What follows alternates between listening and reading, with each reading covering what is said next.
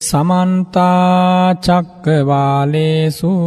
අත්ත්‍රාගච්ඡන්තු දේවතා සද්ධම්මං මුනිරාජස්ස සුනන්තු සග්ගමොක්හදම් ධම්මස්සවන කාලෝ අයං භදන්තා ධම්මස්සවන කාලෝ අයං භදන්තා ධම්මස්සවන කාලෝ අයං භදන්තා සුවිසුද්ධ සීලේසු සින්ධූපමස්ස සමාධි ධම්මේසු පඨවි සමස්ස අනන්තඥානේසු ගගනූපමස්ස නමාමි සිරසාසිරිගෝතමස්ස පිරිසිදු සිල්කන්ද සමුදුරසේමා නිසාල සමාධිය මිහිකතසේමා අනන්තඥානය අහසක් සේමා. සිරිපා අභියස පිණිපාවේවා මෝහන්ධකාරේසු සුරියූපමස්ස. සංසාරසෝතේසු සේතුපමස්ස. දෝසප්පවාහේසු මේ ගෝපමස්ස නමාමි සිරසා ධම්මාමතස්ස මොහන්දුර සිඳලන ලාහිරුසේමා සසර දියඹ මැද පහුරක් සේමා කෙලෙස් කිලොටු හල වැස්සක් සේමා. සදහම් රුවනට පිණිපාවේවා. පටිපත්තිසාරේසු සම්මාටිතස්ස උජුභූත මංගේසු යානාගතස්ස.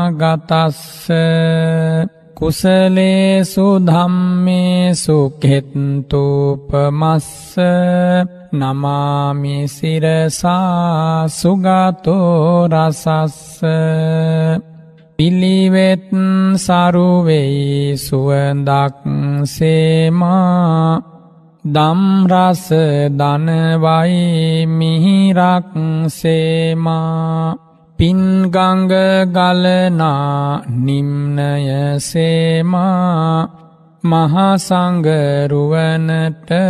පිණිපාවේවා සාධූසාධූසාධූ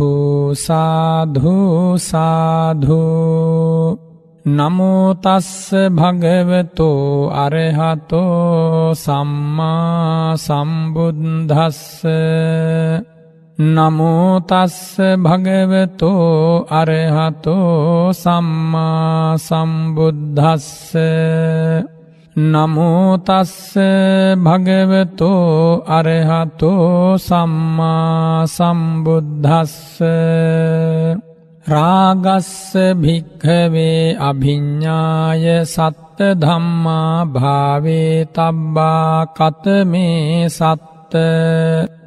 අනිච්ච සංඥා අනත්ත සංඥා අසුභ සංඥා ආදීනව සංඥා පහන සංඥා විරාග සංඥා නිරෝධ සංඥා රාගස්ස භික්හවේ අභිඤ්ඥාය ඉමේ සත්ත ධම්මා භාවේ තබ්බාති. පූජනීය මහා සංඝරත්නයෙන් අවසරයි. සිත්නැත් අසපුුවෙන් අදෑසෙන මේ ධර්මපරයාය ධර්මදානයක් ලෙස ලබාදීම සඳහා දායකත්වය දරන්නේ අංක තිස්තුනෙන් එක ගාලු පාර පදිංචි එම් මේ රංජනී හා ඇල්පිටිය එකොල්හය කනුව පදිංචි එම් මේ නන්දසේන හා දිස්නා ඇතුළුවේ පවුලි සියලු දෙනාත් ඒවගේම අංක හැත්තෑවෙන් විසි අට හතරවෙනි පටුමග රාජ්‍යගිරිය ලිපෙන්නේ පදිංචි පින්වත් ශ්‍රීමා මාලනී අබේ සූරිය මැතිනියත් අදමියුතුම් ධර්මදානමය පින්කම හා සම්බන්ධ වෙනවා.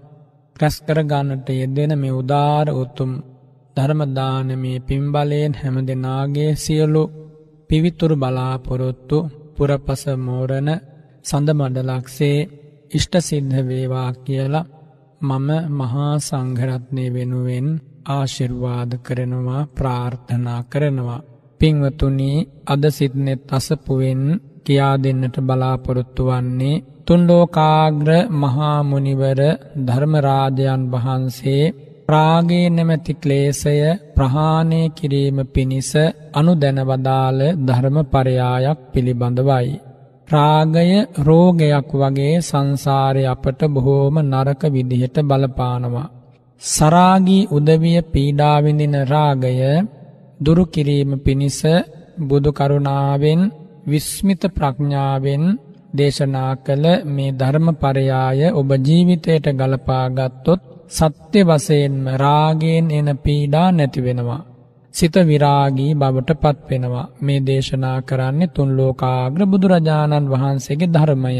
එනිසාම මේ පිළිපදින්නට රාගේ පීඩාවක් කර නොගෙන ඉන්නට ඒ රාගමය පීඩා අවම කරගෙන කවදාහෝ දවසක මුළුමනින්ම රාගේ ප්‍රහාණය කරන්නට මෙන්න මේ මාවතයි උපකාර වන්නේ.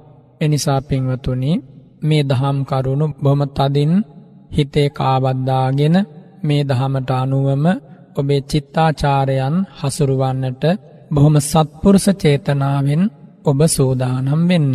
මේ ලෝකෙ අප්‍රමාණ පිරිසක් විපත්වලට පත්වෙන්නේ. කරදර බාධකවලට මුහුණ දෙන්නේ. නොයෙක් විදිහේ දුක් විපත්වලට මුහුණ පාන්නේ රාගය නිසා. පුද්ගලයන් ඔවුනෝන් අතර ඇන කොටාගන්නේ ප්‍රශ්න නිර්මාණය කරගන්නේ ජීවිත නැති කරන්නේ ඉතාම පිළිකුල් සහගත හැසිරීම් පල කරන්නේ රාගය නිසා. ඒ වගේම තමයි කීර්තිනාමේ නැති කරගන්නේ. ඒ වගේම පුද්ගලයන්ගේ ජීවිතවල නොයෙක් විදිහේ අබල දුබලතා ප්‍රකට වන්නේ මේ රාගය නිසා. තවත් විදිහකින් කිව්වොත් රාගයේ පුද්ගල මනසකට කිලුටක්. සිත අඳුරු කරලා කෙලසලා ගෞරවේ නැති කරලා තැන නොතැන අමතක කරලා බොහෝම නීච තත්ත්වයකට පුද්ගලයන් ඇදදාන ධර්මයක්. මේ රාගය උත්සන්න වනහම අධර්ම රාගය ඇති වෙනවා. විසම ලෝභය ඇති වෙනවා. මිත්‍යා ධර්ම වනත් ඇති වෙනවා. එමගින් බොහොම හීන ගණයේ පුද්ගලයෙක් බවට පත්වෙනවා. පින්වතුනි කවදාහෝ දවසක පුද්ගලයෙක් ශ්‍රේෂ්ඨ වුණා නම් රාගේ නැති කරළමයි රාගේ දුරු කරළමයි ඒ ශ්‍රේෂ්ඨ භාවය ඒ ජීවිතවල ඇති කර ගත්තේ. මේ ලෝකෙ කවුරුහරි කෙනෙක් පූජනීය වුණානම් රාගේ මුළුමනින්ම ප්‍රහාණය කරලා හෝ රාගේ ප්‍රහාණය කරන ප්‍රතිපදාවට පැමිණිලයි පූජනීය බවට පත් වුණේ. මේ ලෝකෙ යම් උතුමෙක් වැඳුම් පිඳුම් ලැබුවනම් පූජාවනට සුදුසු වුණානම් රාගේ ප්‍රහාණය කරළමයි රාගේ ප්‍රහාණය කරන ප්‍රතිපදාවට පැමිණිලාමයි ඒ සුදුසු බව ඇති කර ගත්තේ. එනිසා මේ ලෝකයේ සැබෑම පිවිතුරු බව හොයන ඔබට රාගේ පිටු දකින්නට බුදුරජාණන් වහන්සේ ධර්ම දේශනා කළා. ඉතින් අද මේ ධර්ම පරයායේදි භාග්‍යවතුන් වහන්සේ වදාලා රාගස්ස භික්කවේ අභිඤ්ඥාය සත්‍ය ධම්මා භාවේ තබ්බා මහනෙන මේ රාගය විශිෂ්ටක් ඥානයෙන් අවබෝධ කරගෙන දුරු කිරීම පිණිස සප්තවිධ ධර්මයන් ජීවිතය තුළ භාවිතයට ගන්ටෝන. තවත් විදිහකින් කිව්වොත් ධර්මතා හතක් අනුව කල්පනාව දියුණු කළහම සිහිය දියුණු කළහම රාගය දුරුවෙනවා. පිංගතුනි රාගය කියන්නේ ලෝභය නැමැති චෛතසිකයට. ඒ ලෝභය නැමැති චෛතසිකය පහළ වෙන්නේ ලෝභමූල සිත් සමග. ලෝභමූල චිත්තෝත්පාද අටක් තියෙනවා. ඒ චිත්තෝත්පාද අට පහළ වෙනකොට තමයි මෙන්න මේ රාගේ පහළ වෙන්නේ. එනිසා යම් පුද්ගලයෙක් රාගය දුරු කරනවනං එයා ප්‍රහාණය කරන්නේ මෙන්න මේ ලෝභමූල චිත්තෝත්පාදයන්. එනිසා ලෝභමූල චිත්තෝත්පාදයන් ප්‍රහාණය කිරීම අවස්ථා දෙකකදි සිද්ධ වෙනවා. පළමුුව යම් පුද්ගලයෙක් සෝතාපන්න ආර්ය ශ්‍රාවකයෙක් බවට පත්වෙද්දී. මිත්‍යා දෘෂ්ටිය හා යෙදුන දිට්ඨිගත සම්ප්‍රයුක්ත ලෝභමූල සිත් හතර ප්‍රහාණය වෙනවා. එවගේම මහා රහත් භාවයට පත්වෙනකොට දිට්ඨිගත විප්‍රයුක්ත ලෝභමූල සිත් හතර ප්‍රහාණය වෙනවා. කාම රාගය හා යුක්ත වූ චිත්තෝත්පාදයන් ප්‍රහාණය වෙන්නේ අනාගාමී වීමේදී. ඒ දක්වාම පුද්ගලයාට මේ රාගේ බලපෑම් එල්ල වෙනවා චරිතානුකූලව එල්ලවීමේ වෙනසකුත් තියෙනවා. ඇතැම් පුද්ගලයකුට රාගේ බොහොම තීවරයි තවත් කෙනෙකුට රාගේ තීවර නෑ. එතකොට ඒ රාගේ උත්සන්න වූ පුද්ගලයන්ටත්. කොහොම නමුත් රාගයෙන් පීඩාවිදින කාට වනත් මෙන්න මේ ධර්ම පරයාය ජීවිතයට ගල්පගත්තාම පින්වතුනි නිදහසේ සැනසිල්ල ජීවත් වෙන්න පුළුවන්. මේ රාගය කියන්නේ හරියට දාස භාවයකට හසුවනා වගේ. පුද්ගල මනසක රාගය ඇති වෙනකොට රාගය උත්සන්න වෙනකොට නොයෙක් විදියේ පහත් දේ සිද්ධ කරන්න පෙළඹෙනවා. ඒ වගේම හරියට දංවැල්ලකින් ගැටගහප සුනකයෙකු වගේ වෙනවා මේ රාගය නිසා. ඒ වගේම කූඩුවක හිරකරපු පක්ෂියෙක් වගේ වෙනවා මේ රාගය නිසා. රාගයෙන් නිදහස් වනාම බොහෝම සැහැල්ලුයි බොම සංවරයි නිදහසේ ජීවත්වෙන්න පුළුවන්. විඳින තාක් දුක්වලින් සෑහෙන තරමක් ජීවිතයට පැමිණෙන්නේ රාගය නිසයි. රාගය පිරිමසාගන්නට බොහෝදේ ලෝකෙ සිද්ධ කරන්න වෙනවා. රාගේ පිරිමසා ගනු වස්සුනේ ලෝකෙ පුද්ගලයෝ ආවාහ විවාහ කටයුතු සිද්ධ කරනවා. ඉන් අනතුරුව ජීවිත කාලය දක්වාම විඳවනවා. මේ රාගේ ප්‍රහාණය කලා නම් අවබෝධ කරගත්ත නම් ඒ නතමිදුන නම් රාගේ නිසා පැමිණෙන එකම දුකක්වත් එන්නේ නෑ. ඉතින් බුදුරජාණන් වහන්සේ වදාලා ඒ ධර්මතා හත තමයි අනිත්‍ය සංඥාව අනත්ත සංඥාව අසුභ සංඥාව ආදීනම සංඥාව පහාන සංඥාව විරාග සංඥාව සහ නිරෝධ සංඥාව. මහනෙන මෙන්න මේ සංඥා හත භාවිත කිරීමෙන් රාගය දුරුවෙලා යනවා. රාගස්ස භික්කවේ අභිඤ්ඥාය ඉමේ සත්ත ධම්මා භාවේ තබ්බා. බුදුරජාණන් වහන්සේ එහෙම දේශනා කළේ. ඉතින් භාග්‍යතුන් වහන්සේ වදාරණ මේ සංඥා හතෙන් පළමු සංඥාව අනිත්‍ය සංඥාව. කතමාචානන්ද අනිත්‍ය සංඥා බුදුරජාණන් වහන්සේ මේ අනිත්‍ය සංඥාව ආනන්ද ස්වාමීන් වහන්සේට දේශනා කළා ඉධානන්ද භික්කු ආනන්ද මගේ ශාසනී ශ්‍රාවක භික්ෂුව නැත්තං ගිහි ශ්‍රාවකය හෝ පැවිදි ශ්‍රාවකයා අරං්‍යගතෝවා රුක්හමූලගතෝවා සුඥාගාරගතෝවා ඉති පටි සංචික්කති අරණ්‍යකට හෝ රුක්මුලකොට හෝ සුන්‍යාගාරයකට හෝ ගමන් කරලා මෙන්න මෙහිම මෙනෙහි කරන රූපං අනිච්චං රූපය අනිත්‍යයි. වේදනා අනිච්චා වේදනාව අනිත්‍යයි. සංඥා අනිත්‍යා සංඥාව අනිත්‍යයි. සංකහාරා අනිච්චා සංස්කාරයෝ අනිත්‍යයි. විඤ්ඥානං අනිච්චන්ති විඤ්ඥානයත් අනිත්‍යයි. ඉති මේසු පංචසුපාදානක් හන්දෙහේසු අනිච්චානු පස්සේ විහරති අයං උච්චතානන්ද අනිච්ච සංඥා. ආනන්ද මෙන්න මේ කියන පංච උපාදානස්කන්ධයන්හි අනිත්‍ය බව දකිමින් වාසය කරනවනං ඒකට කියනවා අනිත්‍ය සංඥාව වැඩීම කියලා. එතකොට මේ රූපය ගත්වොත් මේ අටවිසි රූපයම අනිත්‍ය වසයෙන් බලනවා. කිසිම රූපයක් ඉතිහාසේ නිත්‍ය වෙලානෑ අදත් නිත්‍ය වන්නේ නෑ මතුමත් අඩත් නිත්‍ය වන්නේ නෑ.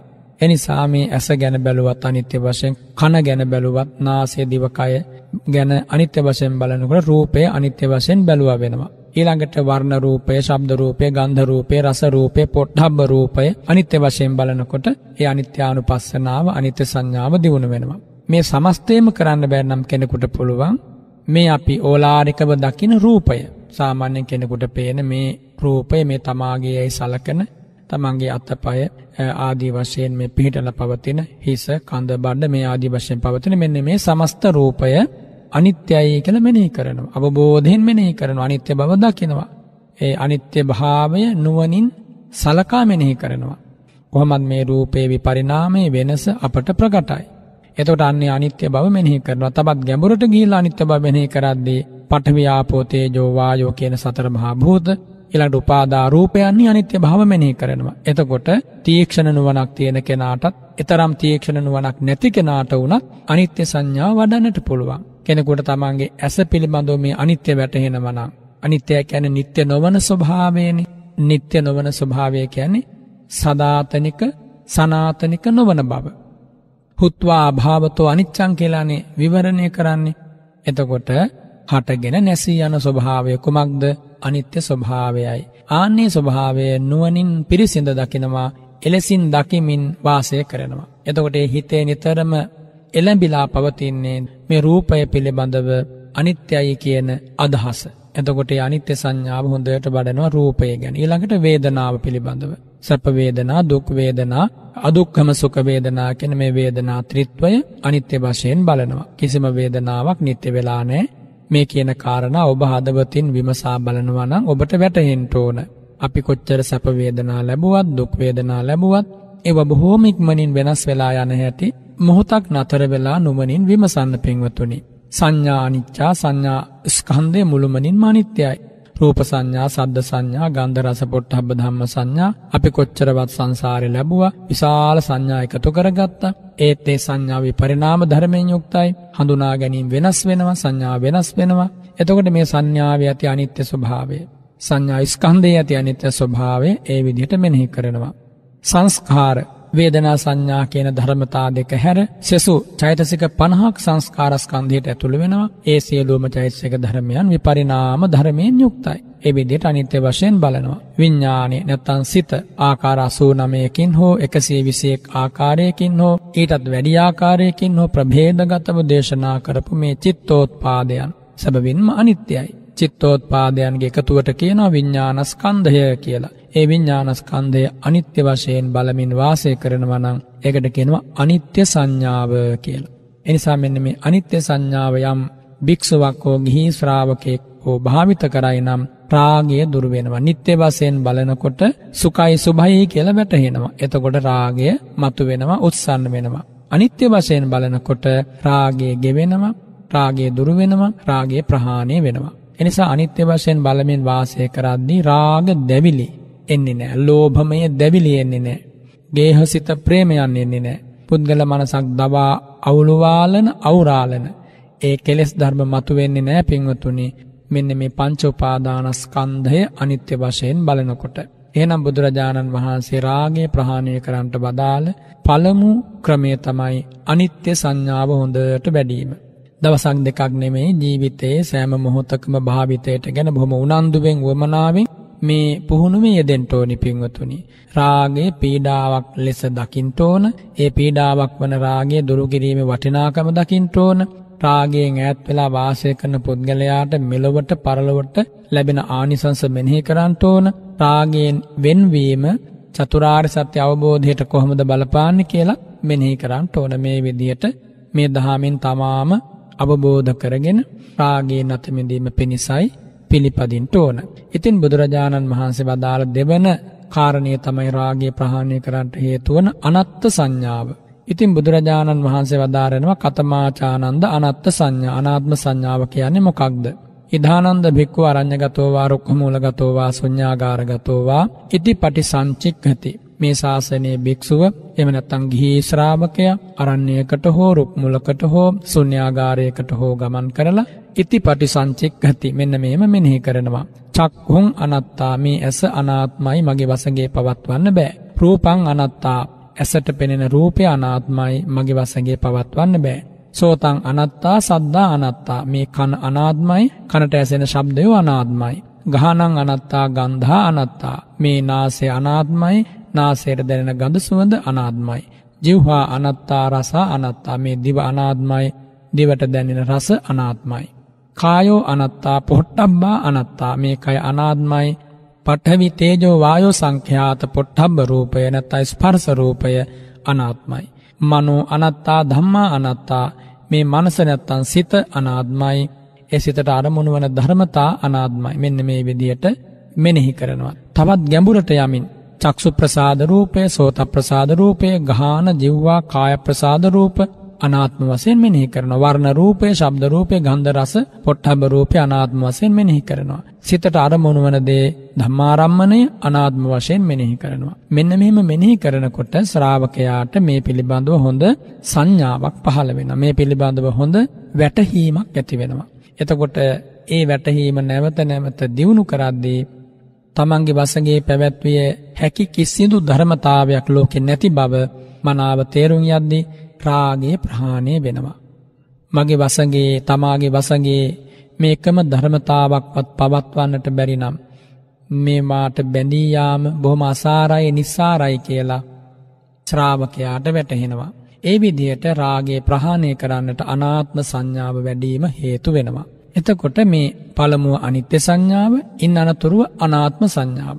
කෙනෙකුට මේ සංඥාවන් සියල්ලම බැරිවුනත් එකක් හෝ දෙකක් හෝ කිහිපයක් හෝ පුරුදු කරන්න පුළුවන්. ඒවගේම රූපය අනිත්‍ය වශයෙන් බලනවා. එතකොට අනිත්‍ය සංඥා වැඩෙනවා. වේදනාව සහ සෙසු ධර්මතා අනිත්‍ය වශයෙන් බලන්න බැරි වුණත් දැනෙන තේරෙන තැනින් පටන් අරගෙන ඒ ප්‍රකට අනිත්‍ය ලක්ෂණය දකිනකොට අනිත්‍ය සංඥා වැඩුව වෙනවා. ඒ වගේම දැනෙන තේරෙන විදිහට මේ ඇස ඇසට පෙනෙන රූප මගේ වසඟේ පවත්වන්න බැරි බව දිරාගෙවී කාදනය වී යන බව මොහොතක් පාසා වෙනස් වන බව දකින්නකොට අන්න අනාත්ම සංඥා වැඩෙනවා. එනිසා මේ ලබා දෙන්නේ බුදුරජාණන් වහන්සේ අනිත්‍ය සංඥාව අනාත්ම සංඥාව පුරුදු කරන ශ්‍රාවකයා විසින් ජීවිතයට ඒ ධර්මතා භාවිතයට ගන්නේ කොහොමද කියන කාරණය. ඊළඟට භාග්‍යවතුන් වහන්සේ බදාලා රාගේ ප්‍රහාණය පිණිස අසුභ සංඥාව වැඩීම බොහෝම හොඳයි කියලා. ඉතින් මේ අනාත්ම සංඥාව ඉති ඉමේසු ජසු අධ්‍යාත්මික බාහිරේසු ආයතනේසු අනත්තානුපස්සී විහෙරත් ආධ්‍යාත්මික ඊළඟට බාහිර නැත්තම් අධ්‍යාත්ත බහිද්ධ කියන ආයතනයන් පිළිබඳවයි අනාත්ම සංඥාව වඩන්නේ ඇස කන නාසය දිව කය මන කියන මෙන්න මේ ධර්මතා අධ්‍යත්ත ආයතන ලෙසයි බුදුරජාණන් වහන්සේ දේශනා කරන්නේ. ඊළඟට රූප ශබ්ද ගන්ධ රස පොට්ටබ්බ ධම්ම බහිද්ධ ආයතන. මෙන්න මේ ආයතන 12 පිළිබඳව හොඳට අනාත්ම සංඥා පුරුදු කරනකොට මේ තුල ඇති වහා වෙනස් වන ස්වභාවය ශ්‍රාවකයාට අවබෝධ වෙනවා අවබෝධ වෙන්න අවබෝධ වෙන්නට රාගයෙන් හිත ඈත් වෙනවා රාගය ඇති වෙන්නේ ද්වේෂය ඇති වෙන්නේ ක්ලේශය ඇති වෙන්නේ අනවබෝධය නිසාමයි. සත්‍ය දැනගන්න සත්‍ය දැනගන්න රාගයේ වෙනුවට විරාගයයි. වෛරය වෙනුවට මෛත්‍රියයි. මෝහය වෙනුවට ප්‍රඥාවයි හදවතේ පහළ වෙන්නේ. ඊළඟට භාග්‍යවතුන් වහන්සේ අසුභ සංඥාව ගැන දේශනා කළා. කතමාචානන්ද අසුභ සංඥා. ඉදානන්ද බික්කු ඉමමේව කායන් උද්ධම් පාදතලා අධෝකේස මත්තකා තච පරියන්තම් පූරන්නානප්පකාරස්ස අසුචිනෝ පච්ච වෙක්කති. අසුභ සංඥාව වඩන ශ්‍රාවකයා තමන්ගේම ශරීරය එම මේව කායන් උද්දං පාදතලා. පාතලයෙන් ඉහළ කෙස්වලින් යට තච පරියන්තන් සම කෙලවරකොට නොයෙක් ආකාරයේ අසුචීන්ගෙන් පිරී ඇති බව නුවනින් මෙනෙහි කරනවා. කොහමද මෙනෙහි කරන්නේ අත්හිමස්මෙන් කායේ කේසා මේ කයේ කෙස් තියෙනවා ලොම් තියෙනවා දත් තියෙනවා මස් නහාර ඒ වගේම අස්ති අස්තිමින්ජා නැත්ත ඇටමිඳුළු ඒවගේම වකුගඩු හදවත පෙනහලු දළඹුව එවගේම දිරවපු ආහාර නොදිරවපු ආහාර පිතසෙම සැරබ ලේ එවගේම කඳුළු දහඩිය වරුණු තෙල් සඳමිඳුළු එවගේම කෙල්ල සොටු මෙන්න මේ විදියට මුත්‍රා මෙන්න මේ ශරීරයේ තියෙන කොටස් මේවා හොඳට තමම්ම ප්‍රඥාවෙන් දකිනවා. එහෙම දකිනකොට ඒ පිළිබඳව අවබෝධයක් ඇති වෙනවා බොහොම නොවටිනා හීන දේවල් ටිකක් නේද මේ ශරීරය කියලා සලකන්නේ. පිළිකුල් දේවල් ටිකක් දුගඳ හමන දේවල් ටිකක් නේද මේ ශරීරය කියලා සලකන්නේ. මම මගේ මගේ ආත්මය කියලා මම පරාමර්ශනය කරන්නේ. මට අයිතිය කියලා පරාමර්ශනය කරන්නේ මෙහෙම රූපයක් නේද. කියලා ශ්‍රාවකයාගේ මනසට වැටහෙනවා. පුහුණු කරන කෙනාගේ හිතට මෙන්න මේ අසුභ සංඥාව කාවදින්න කාවදින්න ජීවිතය හරි පහසු වෙනවා ජීවිතය හරි සැහැල්ලු වෙනවා ජීවිතය බොහෝ පීඩා නැති වෙනවා. එක සත්‍යයක්මයි. එනිසා සුභ සංඥාවේදී වාසය කරද්දි රාගේ විතරක් නෙමේ දේශයක් නැති වෙනවා. මාන්‍ය නැති වෙනවා අහංකාරකම් නැති වෙනවා කුහකකම් කරන්න හිතෙන්න ඉරිසියා මසුරුකම නැති වෙනවා. අනිත් පැත්තට මෙන්න මේ සංඥා බඩනකොට ත්‍යාග ආධ්‍යාසය ඇති වෙනවා. දන් දෙන්න හිතෙනවා ලෝභය නැති වෙලා. ඒ වගේම මෛත්‍රී වඩන්න හිතෙනවා වෛරය නැති වෙලා. ප්‍රඥාව දියුණු කරන්න විපස්සනාව දියුණු කරන්න හිතෙන මක් නිසාද? මේ ජීවිතය අවබෝධ වෙන්න අවබෝධ වෙන්න ගතමනා හරයක් සාරයක් නැති බව හුදු හේතුඵල දහමක් බව කර්මඵල දහමක් බව ශ්‍රාවකයාට වැටහෙනවා අනන්ත සංසාරයක රූප ලැබුවන ලැබුවේ මෙන මේ වගේ රූප ලබපු හැම රූපයක්ම විපරිනාමයට පත් වනා රූපය පිළිබඳව ප්‍රභේද බුදුරජාණන් වහන්සේ දේශනා කර සොක්කම රූපෝලාරික රූප දූරේ රූප සන්තිකේ රූප අජ්ජත් රූප බහිද්දා රූප මෙන්න මේ ආදී වශයෙන්. එතකොට මේ මොනාකාරයේ රූපයක් වුණත් මොනාකාරයේ වේදනාවක් වුණත් මොනාකාරයේ සංඥා සංකාර විඥානයක් වුණත් හටගෙන නැසී යනවා තම වසඟේ පවත්වන්න බෑ. ඒ පිළිබඳව හොඳට නැවත නැවත නුවණින් මෙනෙහි කරනවා. එතකොට මේ අසුභ සංඥා වඩද්දි මේ රූපකයේ ඇති අසුභ භාවය පිළිකුල් සහගත භාවය දුගඳ හමන ස්වභාවය සැබවින්ම අවංකවම මෙනෙහි කරනවා. තමන්ගේ කය පිළිබඳව. එහෙම මෙනෙහි කරන කොට අර මානසිකව තියෙන දඩබ්බර බව නැති වෙනවා. රාගය නැමැති ගාය නැති වෙලා යනවා. ඒ වගේම රාගයේ ද්වේෂය නැමැති මුරණ්ඩු ස්වභාවයන් සැබවින්ම නැති වෙලා මේ හිත පුදුම නිදහස් නිස්කාම භාවී ස්වභාවයකට පත්වෙනවා. එනිසා ඒ විදිහට මේ ශරීරය ගැන මෙනෙහි කරනවන එය අසුභ සංඥාව වැඩුවා වෙනව අසුභ සංඥාවෙන් රාගය දුරුවෙන්නට දැවන්ත පිටු බලයක් ලැබෙනවා. මේවා ගිහිවේවා පැවිදිවේවා අපි කවුරුත් සිද්ධ කරන්නට ඕනි රාගය උත්සන්න වුණොත් ඒක බොහෝම දරුණු විදිහට බලපාන නිසා. මෙලොවටත් නරකයි පරලොවටත් නරකයි තමන්ට අනුන්ට කියන උභය පාර්ශවයටම බොහෝම හීන පලගෙන දෙන්නේ. එනිසා අසුභය වඩන්ටෝන අනිත්‍ය සංඥාව වඩන්ටෝන අනාත්ම සංඥා වඩන්ටෝන ඇත්ත තේරුම් ගන්ටෝන සත්‍යයට පිටුපාන්න හොදනෑ මේ සනාතන සත්‍ය අවබෝධ කරනතුරු සංසාරය හිරවෙලා දුක්විඳින බව දැනගන්ට ඕන දුකෙන් අතමිදීම අපේක්ෂා කරන්නට ඕන ප්‍රඥාවෙන් දුක දකින්න ඕන ඒ උදෙසා මේ අමාදහම් අසන්නට ඕන කල්්‍යයාන මිත්‍රයාගේ සහයෝග නිතර ලබන්ට ඕන කොටින්ම කියනවන සසරින් අතමිදීමට කැමතිවෙන්ට ඕන. ඉතින් පින්වතුනි සංසාරෙ දුක් දැක සසරින් අතමින්දීම පිණිස කැමැත්ත ඇතිකරගෙන මේ මිහිරි දහම ජීවිතයට ගලපගෙන සසරින් අතමිදෙන්න්නට ලැබෙන මේ අවස්ථාව බොහෝම වටිනවා. විරලබ දුර්ලභව ලැබෙන අවස්ථාවක් බුද්ධ ශාසනයක විතරයි මේ අනිත්‍ය සංඥා දුක්ක සංඥා අනාත්ම සංඥා මේ අසුභ සංඥා මෙ වාහන්ට ලැබෙන්නේ. ඊළඟට භාග්‍යතුන් වන්සේ වදාලානි ආදීනව සංඥා මෙනෙහි කිරීමෙනුත් මේ රාගේ ප්‍රහාණය වෙනවා කියලා. මොකක්ද ආදීනම සංඥාව කියන්නේ කතමාචානන්ද ආදීනම සංඥා. ඉධානන්ද භික්කෝ අරං්ඥගතෝවා රුක්හමූලගතෝවා සුඥ්ඥාගාර ගතෝවා. මේ ශාසනයෙහි භික්‍ෂුව කැලයකට හෝ රුක්මුලකට හෝ එබඳු සුන්්‍යාගාරයකට හෝ ගමන් කරලා ඉති පටිසංචෙක් ගති මෙන්න මෙහෙම මෙනෙහි කරනවා. කොහොමද බහුදුක් හෝ කෝ අයං කායෝ බහුවාදීනවෝ. මේ කය බොහෝ දුක් ගෙන දෙන දෙයක්. බෝ ආදීනව සහිතයි මේ ජීවිතය මේ කය. ඉතිමස්මින් කායේ විවිධා ආබාධා උපද්ජන්ති මෙන්න මේ කයේ විවිධ රෝගය උපදිනවා. සෙයි ඇතිහි දම්මොනවදේ උපදින රෝග චක්හු රෝගෝ ඇසේ රෝග හටගන්නවා. සෝතරෝගෝ කනීරෝග හටගන්නවා. ගානරෝගෝ නාසේ රෝග හැදෙනවා. ජිව්හාරෝගෝ දිවේරෝග හැදෙනවා. කායරෝගෝ සමස්ත මේ කයට විවිධ රෝග ඇති වෙනවා. සීසරෝගෝ හිසේ ආබාධ හිසේරුජා හිසේ රෝග ඇති වෙනවා. කන්න රෝගෝ මේ කනේ රෝග ඇති වෙනවා. මුකරෝගෝ ඒවගේම මේ කටේ රෝග ඇති වෙනවා. දන්තරෝග දත්වල විවිධ රෝග ඇති වෙනවා. ආසෝ සාසෝ පිනාසෝ ඩහෝ ජරෝ කුච්චිරෝගෝ. ඒවගේම කුසේ ආබාධ මේ ශරීරය ඇති වෙනවා. ඒවගේම සම ආශ්‍රිත විවිධාකාර කුෂ්ට රෝග හැදෙනවා. පිළිකා වගේ දේවල් හැදෙනවා. අනේකාකාරයි රෝග. අංසභාගි වගේ රෝග ඊළඟට භගන්දරා වගේ රෝග දිවැඩියාව වගේ රෝග ඒවගේම ලේ අතිසාරය වගේ රෝග තවත් බොහෝම රෝග තියෙනවා. තැම් මේ වගේ කාලයකනම් ආහන්න ලැබෙන රෝගවර්ග විවිධයි. හරි පුදුම සහගතයි. මොකද මානව වන්සේ ආරම්භ වෙච්ච කාලෙ මොකද මේ මිනිසුන්ගේ ඉතිහාසයේ එහෙම බලවත් රෝග තිබුණෙ නෑ. සීතං සීතල තිබුණ උෂ්ණය දැනුන කුසගින්න දැනුන පිපාසය දැනුන මළමුත්‍රා පිට කිරීම ූමනාව තිබුණ ඕව තමයි ඒ කාලෙ රෝග ලෙස සැලකුවේ නමුත් එව්වාද රෝග කියල සලකන්නේ නැහැනි දැම් මේ හැදෙන රෝග වට්ටෝරුව ගත්තොත් පුදුමාකාර විශාල රෝග ප්‍රමාණයක් කියන්න වෙනවා.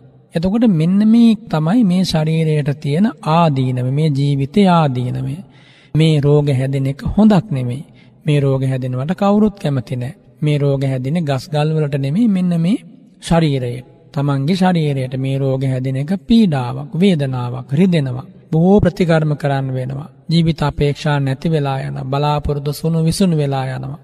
නිරෝගීකම නැති වෙනකොට මොන තරන්නම් ඒක පීඩාවක්ද. ආරෝග්‍ය මිත්‍යෙහි පරමංච ලාභං. එහෙමනි බුදුරජාණන් වහන්සේ වදාලේ. එතකොට මේ ශරීරය පිළිබඳව මෙන්න මේ ආදීනම සම්භාරය දකිනකොට මේ තමන්ගේ ශරීරයට හෝ අනුන්ගේ ශරීර ගැන හෝ ලෝභයක් ඇතිවෙයිද ලෝභයක් ඇතිවෙන්නේ නෑ මේ ආදීනව දකිනකොට ප්‍රඥාව පහළ වෙනකොට නුවනින් දකිනවා කයේ ගතමනා සාරයක් නෑ එවගේම තමන්ගේ කයේ වුණත් අනුන්ගේ කයේ වුණත් ගතමනාසාරයක් නෑ මොනවටද මම මේ බැඳිලා ගිහිල්ලා තියෙන්නේ? කෙස්ලොම් නියද සම්මසනහර සමූහයකට නේද? සැබවින්ම බැඳිලා තියෙන මේ රෝග පීඩා ටිකකට නේද? දැනුවත්ව හෝ වේවා නොදැනුවත්ව හෝ වේවා බැඳිලා ගිහිල්ලා තියෙන්නේ අසුභයකටයි. බැඳිලා ගිහිල්ලා තියෙන්නේ කුණපයකටයි. බැඳිලා තියෙන්නේ විපරිනාම ධර්මයකටයි. ආන්නේ විදියට ශ්‍රාවකයාට වැටහෙනකොට මේ ආදීනව දකිනකොට ඒ ආදීනවයන් මනාව නැවත නැවත නුවණින් විමස විමසා බලනකොට රාගය දුර වෙනවා. පමණක් නෙමෙයි ද්වේෂය, මෝහය, මදය, මානෙ, ඒ හැම ක්ලේශයක්ම ටික ටික ටික ටික අඩු වෙලා කාලයකදී නැත්තටම නැති කරන්න පුළුවන්. එතකොට තමයි මගඵල නිවන් ලැබෙන්නේ. ඉතින් පින්වතුනි මේක අනුපිළිවෙල වැඩපිළිවෙලක්.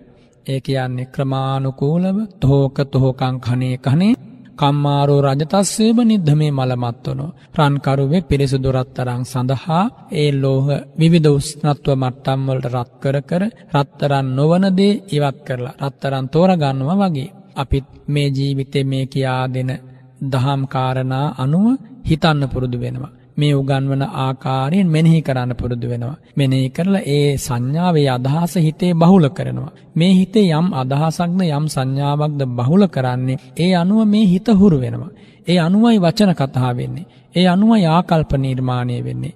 ඒ අනුවයි චේතනා පහළ වෙන්නේ. එනිසා මේ හිත හුරු කරන විෂය විරාගයට තුඩු දුන්නොත් අනරාගය ප්‍රහාණය වෙනවා. හිත හුරු කරන විෂය සරාගයට තුරු දෙනවා නම් අන්න නැවත නැවත රාගය උත්සන්න වෙනවා.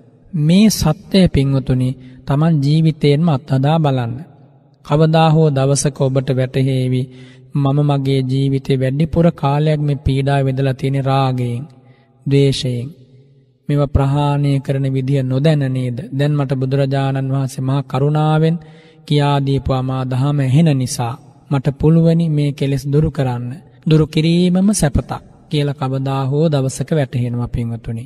ඒ වගේම මේ ශරීරයේ පිත නිසා, සෙම නිසා, වාතය නිසා නොඑක් ආබාධ හැදෙනවා. ඍතු වෙනස් වීම නිසා, විසමාකාරයෙන් මේ ශරීරයේ හැසිරවීම නිසා, ඒ වගේ පරෝපක්‍රමයෙන් නෝ තමන්ගේ උපක්‍රම වලින් මේ ශරීරයේ නොඑක් විදිහේ පීඩා නිර්මාණය වෙනවා. කර්ම විපාකජ වශයෙන් ආබාධ ඇති වෙනවා. සීතලෙන් උෂ්ණයෙන් ඒ වගේම කුසගින්නෙන් පීඩා විඳින්න සිද්ධ වෙනවා. මේ කය හා සම්බන්ධ මේ ආදීනව මෙනෙහි කරන උච්චාර පස්සාව මලමුත්‍රා පිට කරන්නට ඕන මේ දේවල් අයක් හා බැඳිච්ච ආදීනව.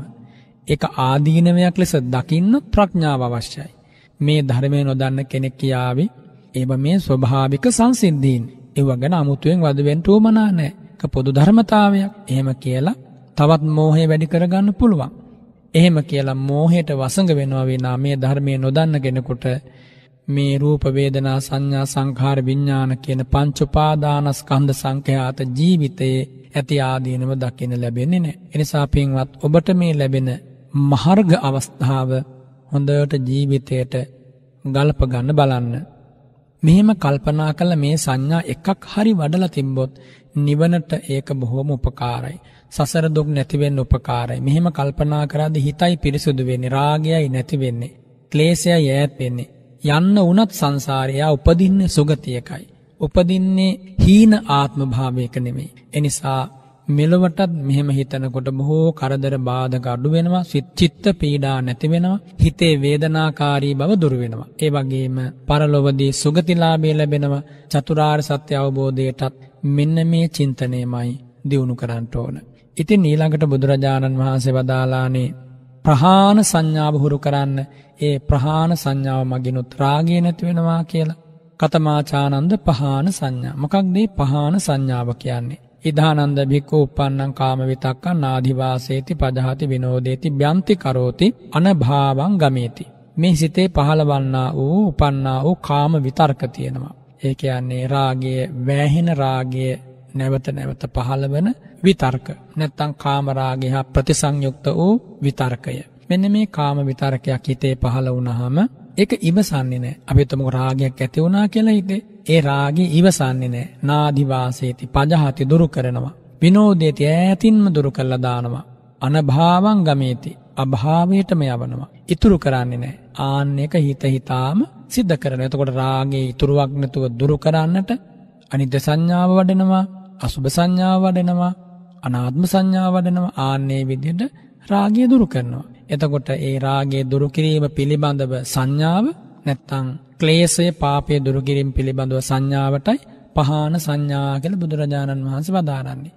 හිතේ සෑම මොහොතකම සිතවිල්ලක් අවදියෙන් තියාගන්නම උපදින නරක සිතුවිලි මා ප්‍රහාණය කළ යුතුය. ආන්නේ කාරණය හොඳට හිතට කාවද්දනවා. උපදින නරක සිතුවිලිත් එක්ක මේ සිත එකතු කරන්නේ නෑ. උපදින ඕනම නරක සිතුවිල්ලක් ඒ මොහොතේදීම ප්‍රමාදයට පත්නොවී මම දුරු කරනවා කියලා දැඩි ලෙස හිතට ගන්නවා. එම හිතට අරගෙන දවසක් දෙකක් තුනක් සතියක් සති දෙක තුනක් පුහුණු වෙනකොට පින්වත්තුනි අමාරු නෑ. පහසුවෙන් කරන්න පුළුවන්. මේ හිතට හුරු කරන්නේ රාගයද ඒ ඔස්සේ හිත දුවන්න ගන්නවා. මේ හිතට හුරු කරන්නේ විරාගයේද විරාගයම හිතට එතකොට මිහිරක්. විරාගේ යම් හිතකට මිහිරක් වුණදාට ක්ලේසයෙන් ඈත් වෙලා පාපයෙන් ඈත් වෙලා ලස්සන හිතක් හැදිලා මහානු භාව සම්පන්න හිතක් හැදිලා ඥානය හා සම්ප්‍රයුක්ත හිතක් ඇදිලා පුද්දුම විදිහේ වාසනා මහිමයක්. අද අද මත්විඳින්නට පුළුවන්. එනිසා උපන් කාම විතර්කය පවත්වන්නේ නැතුව. උපන් කාම විතර්කය ඉවසන්නේ නැතුව. උපන් කාම විතර්කය අගයන්නේ නැතුව. එහි ඇති හීන ග්‍රාම්‍ය පෝතුජ්ජනික අනර්ථ සංහිත බව දැකලා දුරු කරනවා. ඊළඟට උපන්නම් ව්‍යාපාද විතක්කංනාදිවාසේති පජාති විනෝදේ තිබ්‍යන්ති කරෝති. උපන්නා වූ ව්‍යාපාද විතර්කය. ඒකත් දුරු කරන්න කල්පනා කරනවා. මේ රාගේ දවේශයට හේතු වෙනවා පින්වතුනි. ද්වේෂයත් රාගයට හේතු වෙන්න පුළුවන්. එතකොට මේ එකම ක්ලේශයක්වත් හොඳයි කියලා සාධාරණය කරන්නේ නැහැ. කොතනකින් හරි ක්ලේශයක් පාපයක් මානසික අබල දුබලතාවක් පැන නැගුණාම ඈත් වෙලා යන්නේ කුසලයෙන්. මගහැරිලා යන්නේ පින. එතකොට එතකොට ඒ පිට බොහොම ආකූලයි අවුල් සහගතයි. එතකොට අවුල් සහගත හිතක මෝහයයි රජ යන්නේ. මෝහය යම් සිතක බලවත් වෙනවා නම් ඕනම වැරද්දක් ඕනම දුස්චරිතයක් සිතින් කයින් වචනෙන් සිද්ධ වෙන්න පුළුවන්. එනිසා මේ ඊටාම පැහැදිලිව බුදුරජාණන් වහන්සේ අපේ සිත ගැන සිතුවිලි ගැන අරමුණු ගැන රූපය ගැන මේ ජීවිතය ගැන මේ සසර ගැන දේශනා කරපු දහමනේ දැන් ඇහෙන්නේ. එනිසා අපිට ඊටා පහසුවෙන් කරුණු තෝරාගෙන දියුණු කළ මනාදී දියුණු කරන්නට හල මනාදී අත්හරින්නට අවස්ථාලාභය තියෙනවා. ඊළඟට භාග්‍යතුන් වහන්සේ වදාළ uppannam විහිංසා විතක්කං හිංසන සිතුවිලි හිංසාකාරී සිතුවිලි ඉපදෙනවා නම් ඒව බොහෝම ඉක්මනින් අයින් කරනවා දුරදිග යන්න තියන්නේ නැහැ අවසානයේ දක්වාම ඉවත් කළා දාන පුංචි තැනකවත් හිතේ තරහක් කොස්සක් තියාගන්නේ නැහැ එහෙම තියාගත්තොත් ඒක නැවත වතාවක ප්‍රත්‍ය ලබල බලවත් වෙන්න පුළුවන්. එනිසා හටගන්න රාගය, හටගන්න ද්වේෂය, හටගන්න විහිංසා සිතුවිල්ල ඒ විදිහට දුරු කරලා දාන්න කටයුතු කරනවා. උපන් උපන්නේ පාපකේ අකුසලයේ ධම්මේ නාදී වාසේති පජහති විනෝදේති බ්‍යන්ති කරෝති අනභාවං ගමිත උපනූපන් අකුසල ධර්ම. පුංචේ කියලා නොසලකා ඉන්නේ නැතුව පුංචි අකුසල් පිටවිල්ලක් වේවා. වහාම උප වහාම දුරු කරනකොට ප්‍රහාණය කරන්න කල්පනා කරනකොට ඉවත් කරන්න කල්පනා කරනකොට පින්වතුනි කාලයක් යනකොට මේ හිතටේ පාපී අරමුණු එන එකම නතර වෙනවා. මොකද යම් අරමුණකට අපි හිතේ ඉඩ දෙන්නේ නැත්තම් යම් අරමුණක් හිත ඇතුලෙන් අගය කරන්නේ නැත්නම් පිළිගන්නේ නැත්නම් ඒ ඒ අරමුණට ඒ සංඥාවට සාදර වෙන්නේ නැත්නම් ඒ සිතුවිල්ල වැඩි කාලයක් පවතින්නේ නැහැ. ඒ සිතුවිල්ල උපදින්නේ නැහැ. ඒ සිතුවිල්ල ඒ අරමුණ අභාවයට යනවා. ඒක ප්‍රත්‍යක්ෂ ධර්මයක් කරගන්න පුළුවන් ඔබටම. ඔබ යම් අදහසක් යම් සිතුවිල්ලක් හිතටගෙන ඒ අනුව නැවත නැවත කල්පනා කරොත් ඔබ දැකපු රූපයක් ගැන නැවත නැවත කල්පනා කරොත් මොකද වෙන්නේ? ඒ රූපේ නිකන් හිතට මැවිලා පේනවා. ඔබ අහපු ශබ්දයක් ගැන නැවත කල්පනා කරොත් හිත ඇතුලේ අනුරාව නැංවෙනවා. ඔබ අනුභව කරපු ආහාරයක රසය ගැන නැවත කල්පනා කරොත් ඇතැම් විට කටට කෙලවුණනවා. ඔබ ස්පර්ශයක් ලැබපු අවස්ථාවක් මෙනෙහි කරොත් නැවත ඒ දේ ඕන වෙනවා. එතකොට ඔබ මේ ලැබපු අරමුණු ගැන නැවත නැවත කල්පනා කරනකොට සමහර අතෝ තනියම hina වෙනවා, තනියම අඬනවා, තනියම කතා කරනවා. ඒ தത്വෙට ඒ తත්වයේ දක්වාම මේ හිත ආකූල වෙන්නේ මේ උපදින්නා වූ නරක නපුරු සිතුවිලි ඔහේ වැඩෙන්න ඉඩ දීලා බලා සිටීම තුළ අපිමයි මේ හිතට රෝග හදන්නේ.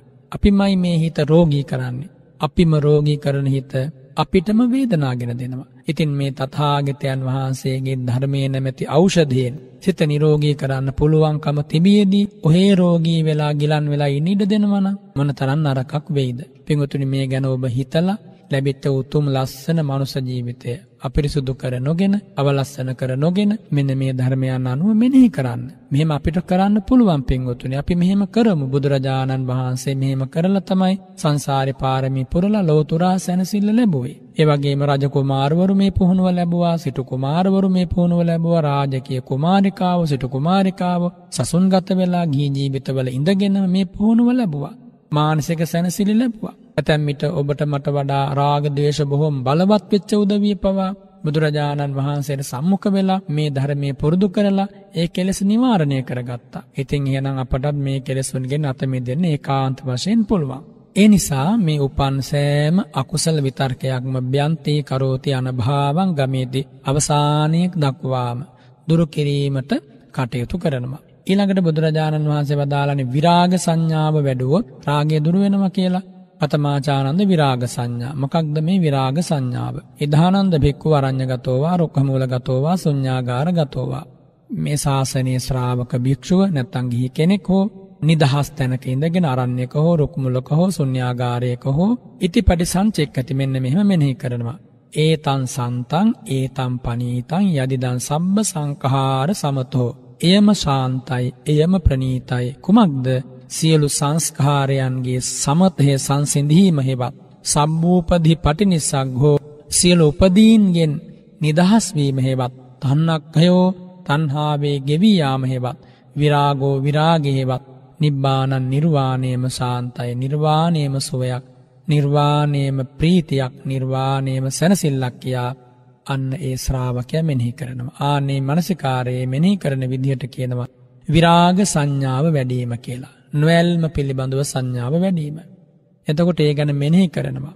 එතකොට බුදුරජාණන් වහන්සේගේ ශ්‍රාවකයා නිවන පිළිබඳවම අපේක්ෂා සහිතව නිවන් ලැබීමේ උවමනා ඇතිව සියලු සංස්කාරයන්ගේ අතමිදීමේ උවමනා ඇතිවයි හැසිරෙන්නේ. ඒ අපේක්ෂාව හිතේ තියෙනවා. ඒ අපේක්ෂාව හිතේ තබාගෙනම කායකර්ම වචීකර්ම මනෝකර්ම ධර්මමාර්ගයට අනුයාත කරනවා. එන්න එතකොට විරාග සංඥාව බහුල වෙනවා. රාගේ දුරුවෙන්න ඒක මහෝපකාරයි. ඉළඟට පින්වතුන් නිරෝධ සංඥාව. නිරෝධ සංඥා වැඩීමෙන් රාගේ ප්‍රහාණය වන බව බුදුරජාණන් වහන්සේ වදාලා. කතමාචානන්ද නිරෝධ සංඥාම නිරෝධ සංඥාව කියන්නේ කුමක්ද. ඉදානන්ද භික්ව අරං්‍ය ගතෝවා රුක්කමූල ගතෝවා සුඥාගාර ගතෝවා ඉති පටි සංචෙක්හතේ. භාග්‍යතුන් වහන්සේගේ ශ්‍රාවකය අරන්නේකට රුක්මුලකට හුදෙ කලා තැනකට ගිහිල්ල ඒ තන් සන්තන් ඒ තම් පනීතං යදිදන් සබ්බ සංකහාර සමතෝ. ඒම ශාන්තයි ඒම ප්‍රනීතයි කුමක්ද? සියලු සංස්කාරයන්ගේ සමතය සංසිඳීම ගෙවීයාම නිරෝධය හෙවත් නිර්වාණය. ඒම ශාන්තයි කියල මෙනෙහි කරන එතකොට නිරෝධය නැත්තං හැම කෙලෙසුන්ගේ ප්‍රහාණය වූ නිරුද්ධ වූ තැන අසංගත ධාතු සංඛ්‍යාත නිර්වාණයම හොඳයි කියල මෙනෙහි කරනමන අන් නිරෝධ සංඥාවයි. ඒ පිළිබඳව ඒ නිවන පිළිබඳව හිතේ උවමනාවක් ඇති කරගෙන ඒ ලබනු රිසියෙන් ඒ නිර්වාණ ශාන්තියට පැමිණෙනු රිසියෙන් ශ්‍රාවකය හැසිරෙන්ට ඕන. හිතේ තියෙනු අන්නේ බඳු සිතිවිල්ලා. මම කොහොම හරි වීරිය වඩලා මේ ධර්මය අවබෝධ කරගන්නවා. ඉපදීමෙන් නිදහස් වෙනවා. ජරාමරණ වලින් එතකොට කොහොමත් නිදහස් වෙනවා. අන්නේ අපේක්ෂාව හිතේ තබාගෙන ඉන්නකොට විරාග සංඥාව නිරෝධ සංඥාව ඇති වෙනවා. ඒ වගේම උපනූපන් කෙලෙස් ධර්ම දුරු කරන්නට කල්පනාක් ඒ අනුව පුහුණු වෙනවා. එතකොට පහාන සංඥා වැඩෙනවා. මේ කය ආදීනව මෙනෙහි කරනවා. රෝග හැදෙන හැටි, රෝග පීඩාවන්ට නතු වෙන හැටි ආදීනව සංඥාව එතකොට වැඩෙනවා. මේ කය කෙස්ලොම් නියදත් සම්මස් ආදී වශයෙන් පිහිටා පවතින ආකාරයන්, එම අසුබ කොට්ටහසයන් නැවත නැවත නුවණින් පිරිසිඳිනකොට අසුබ සංඥා වැඩෙනවා. ඒ වගේම මේ ඇස, රූපය, කන ශබ්දය මේ ආධ්‍යාත්මික බාහිර ආයතන තම වසගේ පවත්වන්න බැරි බව දකිනකොට ඒ අනුව කල්පනා කරනකොට ඒ සංඥාව පුහුණු වෙනවා ඒ අනාත්ම සංඥාව වැඩෙනවා. ඊළඟට රූපවේදනා සංඥා සංඛාර විඤ්ඥාන කියන පංචුපාදානස්කන්ධයන්ගේ අනිත්‍ය ස්වභාවය ගෙවී සිදී බිඳී යන ස්වභාවය මෙනෙහි කරනකොට අනිත සංඥා වැඩෙන ඔය විදිහට අනිත්‍ය සංඥාව අනාත්ම සංඥාව අසුභ සංඥාව ආදීනව සංඥාව පහන සංඥා විරාග සංඥාව නිරෝධ සංඥාව කියන මේ සප්තවිධ සංඥාවන් යම් භික්ෂූන් වහන්සේ නමක් නැවත නැවත ආසේවනය කරයි නම්. ඒ භික්ෂුවට සරාගී මනෝභාවයකින් කල්ගෙවන්න ඉඩක් නැති වෙනවා. මේ හිතට රාගේ ඇතිවෙන ඉඩදීලා බලාගෙන හිටියොත් නිරාගේ මතුවෙන්න උත්සන්න වෙන්නේ. අප විසින් රාගයට තැනක් දෙනවා රාගයට ඉඩක් දෙනවා රාගේ වැඩෙන්න්න අරිනවා රාගය අගේකරොත් රාගේ නතරවේ හිතේ. හැබැයි රාගේ අගේ කළේ නැත්තම් රාගේ ආදීනව දැක්කොත් රාගේ සර්පයෙක් වගේ දැක්කොත් රාගේ ආදීනව දැක්කොත් රාගය දුරු කරන්න හිතෙනවා. එනිසා මෙන්න මේ ඥානය මෙන්න මේ අවබෝධය ඇති කරගෙන ඒ රාගේ ප්‍රහාණය කිරීම පිණිස කල්පනා කළ යුතු. හිත හැසිරවිය යුතු ආකාරයන් තමයි මේ සප්ත සංඥාවෙන් බුදුරජාණන් වහන්සේ දේශනා කරන්නේ. රාගස්ස භික්කවේ අභිඤ්ඥා මේ සත්ත දම්මා භාවේ තබ්බා. මානනි රාගේ ස්වභාවය අවබෝධ කරගෙන ප්‍රහාණය කරන්නට මෙන්න මේ සප්තිවිධ සංඥාවන් මම අනුදැන වදාරනවා කියලායි දේශනා කළේ. කෙනෙකුට මේ සප්තවිධ සංඥාවන්ම එකසේ ප්‍රගුණ නොවෙන්න පුළුවන්.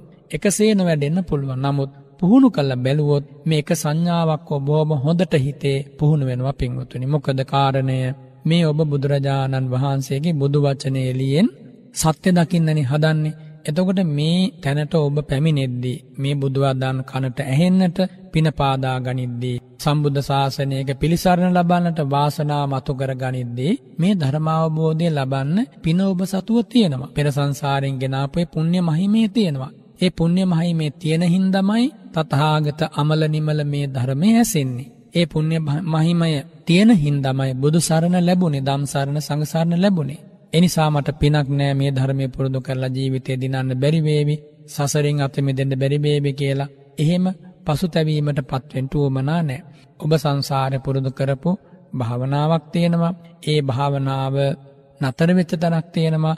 මෙන්න මේ අනුව කල්පනා කරලා මේ පුහුණුවේ යෙදෙනකොට ඒ නතර වෙච්ච තැනින් නැවත පටන් ගැනීමක් සිද්ධ වෙනවා. ඔය විදිහට දියුණු කල්ල තමයි පින්වතුනි පාරිමි ධර්ම පුරා ලෝතුරා බුදු බව ලැබුවේ තුන් ලෝකාග්‍ර ඒ භාග්‍යවතුන් වහන්සේ. ඒ වගේම පසේ බුදුවරු මහරහත් උතුම පවා ධර්මාබෝධය ලැබුවේ මෙන්න මේ ක්‍රමයට පුහුණු කරලා. ඒසා මේක නොවරදින මාර්ගයක් ආර්යයන් වහන්සේලා වැඩම කරපු මාර්ගයක් ආර්ය වංශ ප්‍රතිපදාවට යටත් මාර්ගයක් බුද්ධ වංශයට යටත් මාර්ගයක් සව් සතුන් විසුද්ධිය කරා ගමන් කරපු මාර්ගයක් ඒවගේම ප්‍රායෝගික භාවිතයකින් අනතුරුව ලොවට දේශනා කරපු මාර්ගයක් බුදුරජාණන් වහන්සේ මේ මාර්ගය ගැන ලෝකෙට දේශනා කලායින් අනතුරුව.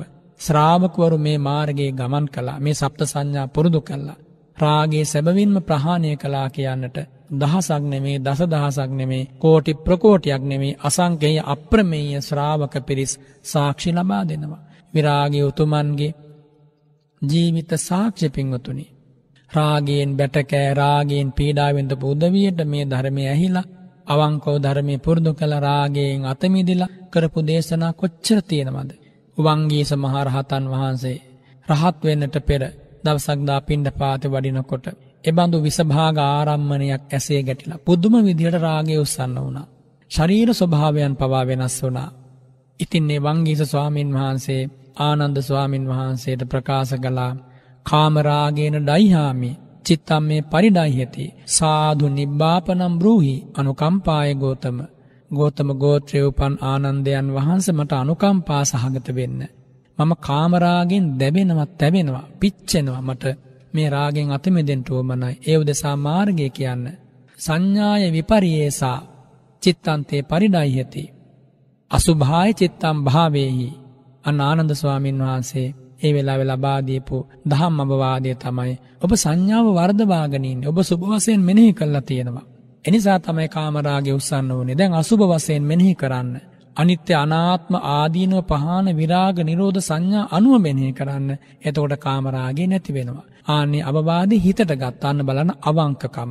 කීකරුකම සුවච භාවය සුවච භාවය මොකද ඒ සුවච භාවය අවංක භාවය තිබුණ හින්ද තමයි ආනන්දයන් වහන්සේට වංගේස ස්වාමීන් වහන්සේ සැබෑව සිහිපත් කළේ. ඒ සැබෑව කියපු හිඳ තමයි ආනන්ද ස්වාමීන් වහන්සේ ඊට ප්‍රතිකර්මය කියා දුන්නේ. ප්‍රතිකර්මය පිළිගත්තා පිළි අරගෙන පුහුණු කරපහින්ද තමයි වංගීස ස්වාමීන් වහන්සේ රාගේ ප්‍රහාණය කල්ලා මහරහතන් වහන්සේ නමක් බවට පත් වනේ. එනිසා පින්වතුනි ඒ වූ ජීවමාන ශාසනයක් මේ ශාසනය නොවරදින අනුශාසනාවක් සහිත රිජු මඟ පෙන්වීමක් සහිත බුද්ධියේ ඥානයේ ප්‍රඥාවේ ආලෝකය සහිත සරාගින් විරාගීන් වුන ශාසනයක් මේ බුද්ධ ශාසනය. සදෝසීන් වීත දෝසීන් වුන මහ මෙතැතියන් වුන ශාසනයක් මේ බුද්ධ ශාසනය. දුක්පත් වූවෝ සැපවත් වන නොයෙක් විදිිය මානසික පීඩා ඇති අය ඒ නිදහස් වූන තැනක් මේ සම්බුද්ධ ශාසනය කියන්න. එනිසා දැම් මේ වෙනකොට සහස දෙක හමාරකට වැඩි කාලයක් තව සතුන්ගේ දුක්ගෙන නිවාලමින් මේ අමා දහම අද පවාපට හෙනවා. එනිසා රාගයෙන් අතමෙ දෙන්න දවේශය නතමි දෙන්න මෝහේ නතමි දෙන්න මේ උතුම් දහමම ජීවිතයට ගලපාගන්න කියලා. අද මේ දහම් කත්හාාව අවසන් වන මොහොතේදී මා ඔබට සිහිපත් කරනවා.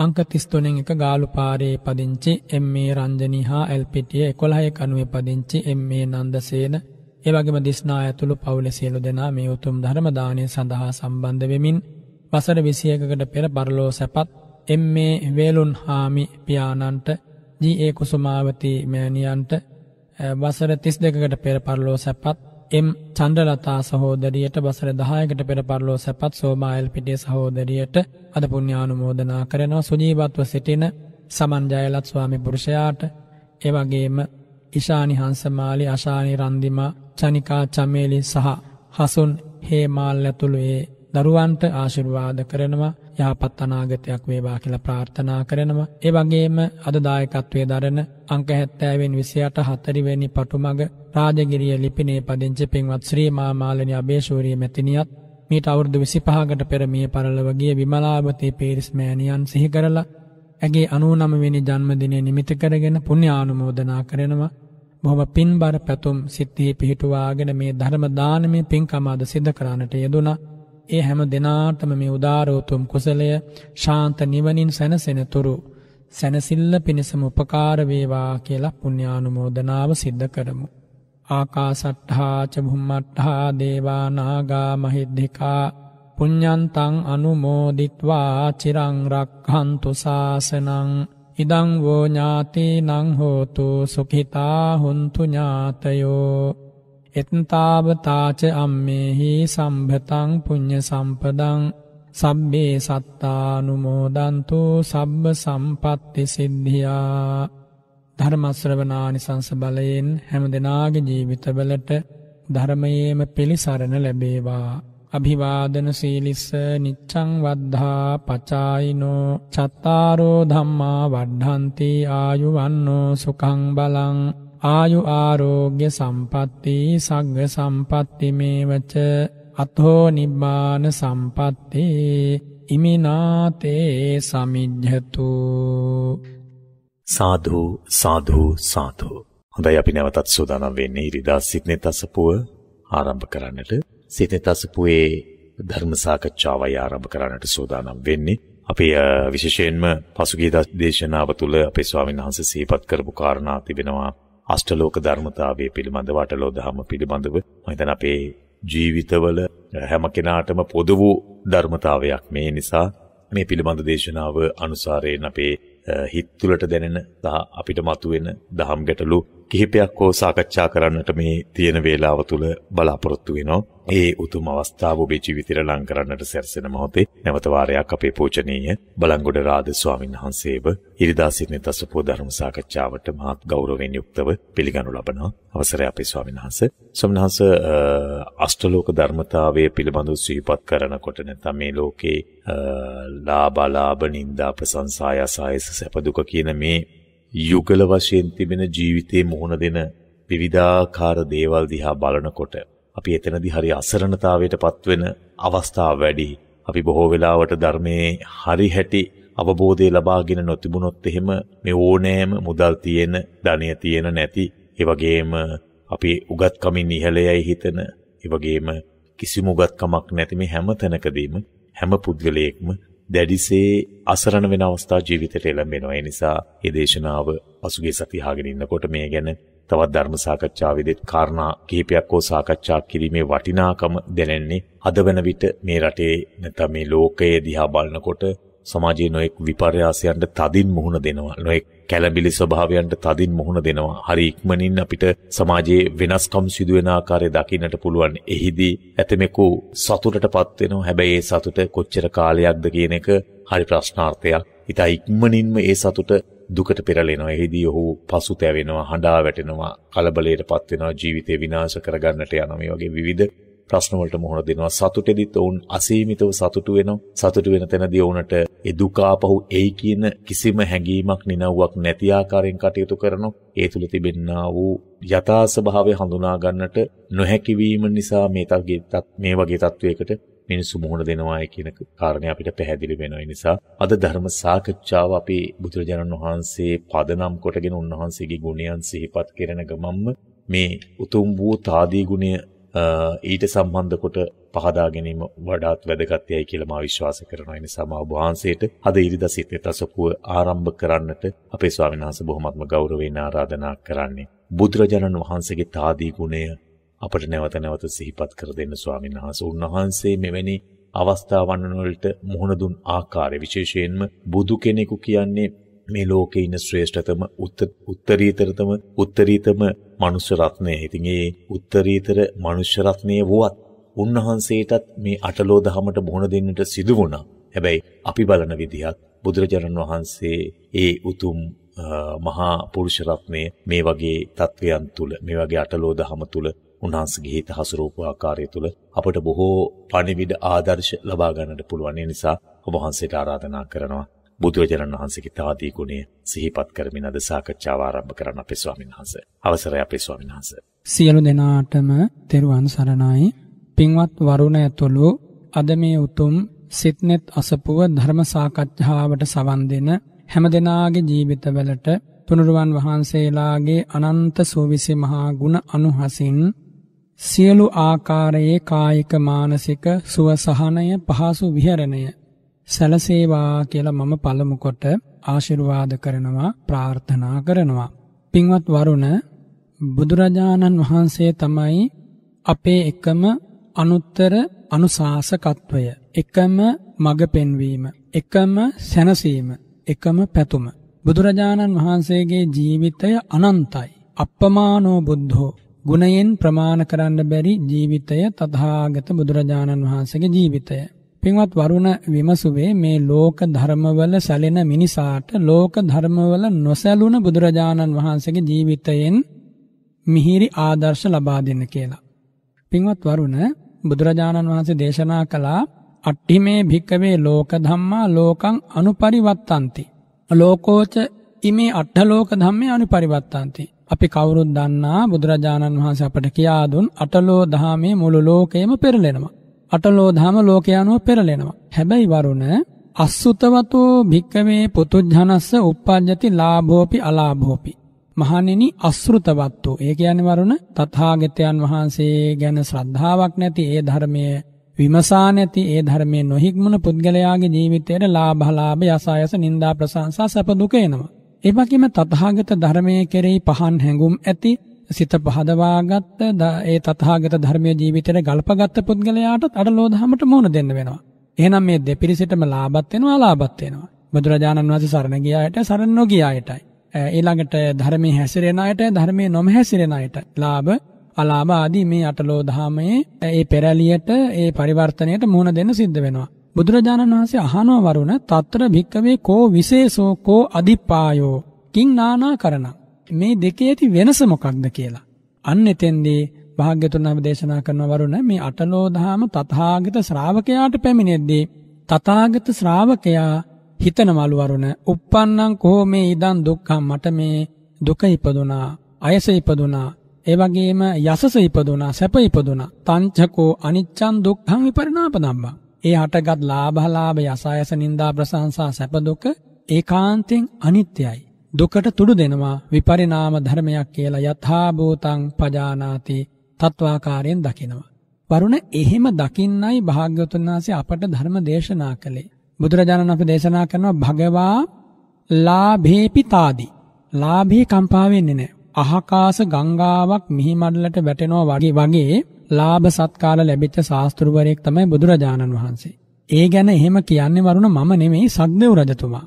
සක්දේව් රජතුමා බුදුගුණ කතාවකදී දෙවිවරුන්ට කියනවා මාරිසා ඒ බුදුරජාණන් වහන්සේට ආකාශ ගංගාව වගේ ලාභ සත්කාර ලැබෙනවා. හැබැයි ඒවට නොඇලී වාසය කරනවා. කම්පා වෙන්නේ නැහැ. ලාභේපි තාදී කියන්නේ ඒකයි. ඒ විතරක් නෙමෙයි අලාභේපි තාදී. අලාභේ නොලැබීමෙහිලා ඒත් තථාගතයන් වහන්සේ අකම්පිතයි. බුදුරජාණන් වහන්සේ කියන්නේ වරුණ මේ ලෝකේ මිනිස් පරපුරේ දෙවියන් බමුණු සහිත ලෝකේ වැඩිපුරම දන් දීපු උතුමන් වහන්සේනේ. සාරා සංඛ්‍ය කල්පලක්ෂයක් අවම වශයෙන් දාන පාරමිතා පිරපු උතුමන් වහන්සේනේ. එතකොට ඒ උතුමන් වහන්සේට මොන්න තරම් ලැබුණාද? ඒ වගේම ඇතැම් විට පිණ්ඩපාතේ ගියා වැඩිහාම ඔය මාරාවේශයේ නොලැබිච්ච අවස්ථාවක් තිබුණා මිනිසුන්ට මාරාවේශය වෙලා. හැබැයි ඒ අවස්ථා දෙකේම කිසිම තැනක තථාගතයන් වහන්සේගේ හිතේ වෙනසක් නැහැ. අර එක තැන අශ්වයන්ට දෙන යබ ධාන්‍ය වංගෙඩිය කොටලා තුන් මාසයක් වළඳුවා. ඒ තථාගතයන් වහන්සේ අකම්පිතයි. මොග්ගල්ලාන රහතන් වහන්සේ විමසුවා මේ මහා පොළොව පළල ස්වාමීනි පෘථිවි ඕජාව මට අරන් දෙන්න පුළුවන්. ඒක අති ප්‍රණීතයි. ලොව ඇති සියලු රසයන්ගේ එකතුවක්. ඉතින් වරුණ ඒකත් ප්‍රතික්ෂේප කළා. ලෝකෙට ආදර්ශයක් දුන්නා. එනිසා භාග්‍යවතුන් වහන්සේ යසස ඉදිරියේ ඊළඟට අයස ඉදිරියේ භාග්‍යතුන් වහන්සේගේ පරිස සම්පatti අනන්ත සක්වල පැතිරේ ඉන්නවා. ඇතැම් විට බුදුරජාණන් වහන්සේ හුදකලාවේ ගහක් යට වැඩ ඉන්නවා වරුණ. මේ දෙවි මිනිසුන්ට හිතන්නත් බෑ පුදුම සහගතයි. මේ ඒ බුදුරජාණන් වහන්සේ නේද මේ හුදකලාවේ වැඩ ඉන්නේ කියලා. පාරිලේයක වනේ පාරිලේයක හස්තිරාජයාගේ උවටන් ලැබමින් මාස කීයක් වැඩ හිටියත්. ඉතින් එහෙම බුදු කෙනෙක් අපේ ශාස්ත්‍රඥ වහන්සේ කිසි තැනක සැලුනේ නැහැ. කිසි තැනක කම්පාවටපත් උනේ නැහැ. ඒ වගේම නින්දා කොච්චර ආවද බුදුරජාණන් වහන්සේට තරම් නින්දාපු මිනිහෙක් මේම බුදුරජාණන් වහන්සේට තරම් නින්දා ආපු කෙනෙක් මේ ලෝකේ නැහැ වරුණ. හැබැයි ඒ හැම නින්දාවකදීම තථාගතයන් වහන්සේ අකම්පිතයි. ආනන්ද ස්වාමීන් වහන්සේ වර එක ප්‍රකාශ කළා ස්වාමීනි හැරදමමු මේ නගරය. නින්දා ලැබෙනවා අපිට වඩින්න විදිහක් නැහැ එලිමහාන්ට පිණ්ඩපාතේවත් කියලා. ඉතින් භාග්‍යවතුන් වහන්සේ අසා බදාලා ආනන්ද ඒ යන තැනත් එහෙම නින්දාව ස්වාමිනි මේ ජම්බුද්වීපේ මහත් අපි ඕන තැනකට වඩින්න පුළුවන් අපට. නමුත් ආනන්ද එහෙම තථාගතයන් වහන්සේලා උපන් අධිකරණය සංසිඳවන්නේ නැතුව වෙන තැනකට වඩින්නේ නැහැ. තව දින හතකින් ඔය නින්දාව ප්‍රශංසාවක් බවට පත් වෙනවා කියලා වදාළේ. ඒ විදිහට ප්‍රශංසාවක් වුණා. ඇතින්ච මානවිකාව වගේ උදවිය බුදුරජාණන් වහන්සේ වෙත ඇවිල්ලා කරපු රඟ දැක්වීම ඒ මොහොතේදීම අසත්‍යයක්ම ඔප්පු වුණා. ඒ තවත් බොහෝ අවස්ථා තියෙනවා වරුණනේ. ඉතින් ඒ හැම තැනකම තථාගතයන් වහන්සේ අකම්පිකයි. ඔච්චර පීඩා වින්දද? ඉතින් වරුණ මේ මහා පොළවේ මිනිසෙක් විඳි ඉහළම දුක මේ භද්‍ර කල්පේ. වරුණ මේ භද්‍ර කල්පේ මිනිසෙක් විඳපු ඉහළම දුක විඳේ කවුද? සිරි සිදුවත් කුමාරයා. මොකද කකුසඳ බුදුරජාණන් වහන්සේ වැඩි කාලයක් දුෂ්කර ක්‍රියා කරේ නැහැ මාස කීපයකින් ඉවර වුණා. කොණාගමන කාශ්‍යප බුදුරජාණන් වහන්සේ මාස කීපයකින් දින කීපයකින් සති කීපයකින් දුෂ්කර ක්‍රියාව ඉවර වුණා. ඊළඟට ඒ කවුරුවත් බුදුරජාණන් වහන්සේලා අවුරුද්දක් දුෂ්කර ක්‍රියා කරේ නැහැ උපරිම.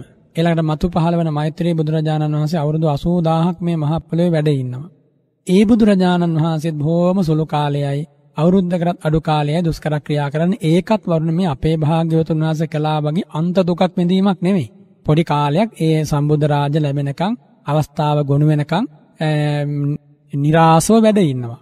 ඉතින් වරුණ මේ භද්‍ර කල්පයේම වැඩිම දුක් විඳ පුතුමන් වහන්සේ කවුද? භාග්‍යවත් බුදුරජාණන් වහන්සේ. මම මේ කියන්නේ පාරමී භූමියේ නෙමෙයි දුෂ්කර ක්‍රියා කරපු අවදී. මම නිතරම කියන්නේ වරුණ පුස අත ගන්නකොට පිටකොන්දේ අස්ති පංජරේ ස්පර්ශවන එකම මිනිසෙක් අපිට හම්බෙලා තියෙනවා දැකලා තියෙනවා දහලා තියෙනවද? ඒ භාග්‍යතුන් වහන්සේ හැර වෙන කෙනෙක් නෑ. ඒ මට්ටමට දුක් විඳත් හිත අකම්පිතයි. වැරදුනා නේද? පෙරදුනා නේද? එහෙම කල්පනා කරේ නෑ. වරුණ අපි නම් ගමනක් ගිහලා පුංචි වැරදීමක් අතපසු වීමක් වෙච්ච තැන කොච්චරනම් ඔය ගැන කල්පනා කරනවද විඳවනවද? මේ දේ නොවෙන්න තිබුණා, මේ ගමන නොයෙන්න තිබුණා, මේ උත්තරේ නොදෙන්න තිබුණා, අපිට වැඩ වැරදුනා. ඉතින් එහෙම කල්පනා කර කර පශ්චාත්තාප වෙනවා. මේ මහබෝසත් රජකුමරෙක් සවුසිරින් පිරි රජසැපත අතහැර දමා කැලේකට වැඩම කළ රෑ දවාලක් නැතුව රජකුමරියක් විවාහ වුණේ රජපුතෙකු ලැබුණේ තාත්තා රජ කෙනෙක් අම්මා රජ දේවින් වහන්සේ නමක් නේ. පවුල ප්‍රභූ පවුලක් උසස්ම කුලයක් සාමාන්‍ය මිනිහෙකුට කිට්ටු වෙන්නවත් බෑ. සතර මහා නිදානයක් ලස්සන රූපයක් මිහිරි කටහඬක් අසිරිමත් ජීවිතයක් අසවසම ජීවිතයක් වරුණ. එහෙව් ජීවිතයක් අතහැර දමා ගිහලා අර විදියට මිනිස්සු බලපු උදවිය ඒ සිදුහත් කුමාරයා දිහා දුෂ්කර ක්‍රියා කරන කාලේ කාලෝ සමනෝ ගෞතමෝ ශ්‍රමණ ගෞතමයන් වහන්සේ දැන් කළුම කළුයි. එහෙම කිව්වනේ. ඒ මට්ටමට මිනිසුන්ට පේනකන් ඒ රූපය ඒ විදියට වැහැරිලා ගියා නම් විරූප වුණා නම් එහෙම දුකක් විඳලවත් තථාගතයන් වහන්සේ කම්පා වුණේ නැහැ. අපිට මොන දුක්ද වරුණ තියෙන්නේ? එහෙම දුකක් එක මිනිස්සෙක් මේ ලෝකෙ විඳිනවද? අඩුම තරමින් දවස් දෙකකට හරි බඩ පෙරෙන්න වේලා මිනිස්සු කනවනේ මේ මහ පොළොවේ හැම මිනිස්සෙක්ම. ඉතින් එහෙනම් ඒ උතුම් ශාස්ත්‍රෝන් වහන්සේ එහෙම දුක් විඳලා පිහිටවපු බුද්ධ රාජ්‍යයක් තමයි අපිට අද පිහිට වෙලා තියෙන්නේ. අපිට මොන දුකද උහුලන්න බැරි වෙන්නේ.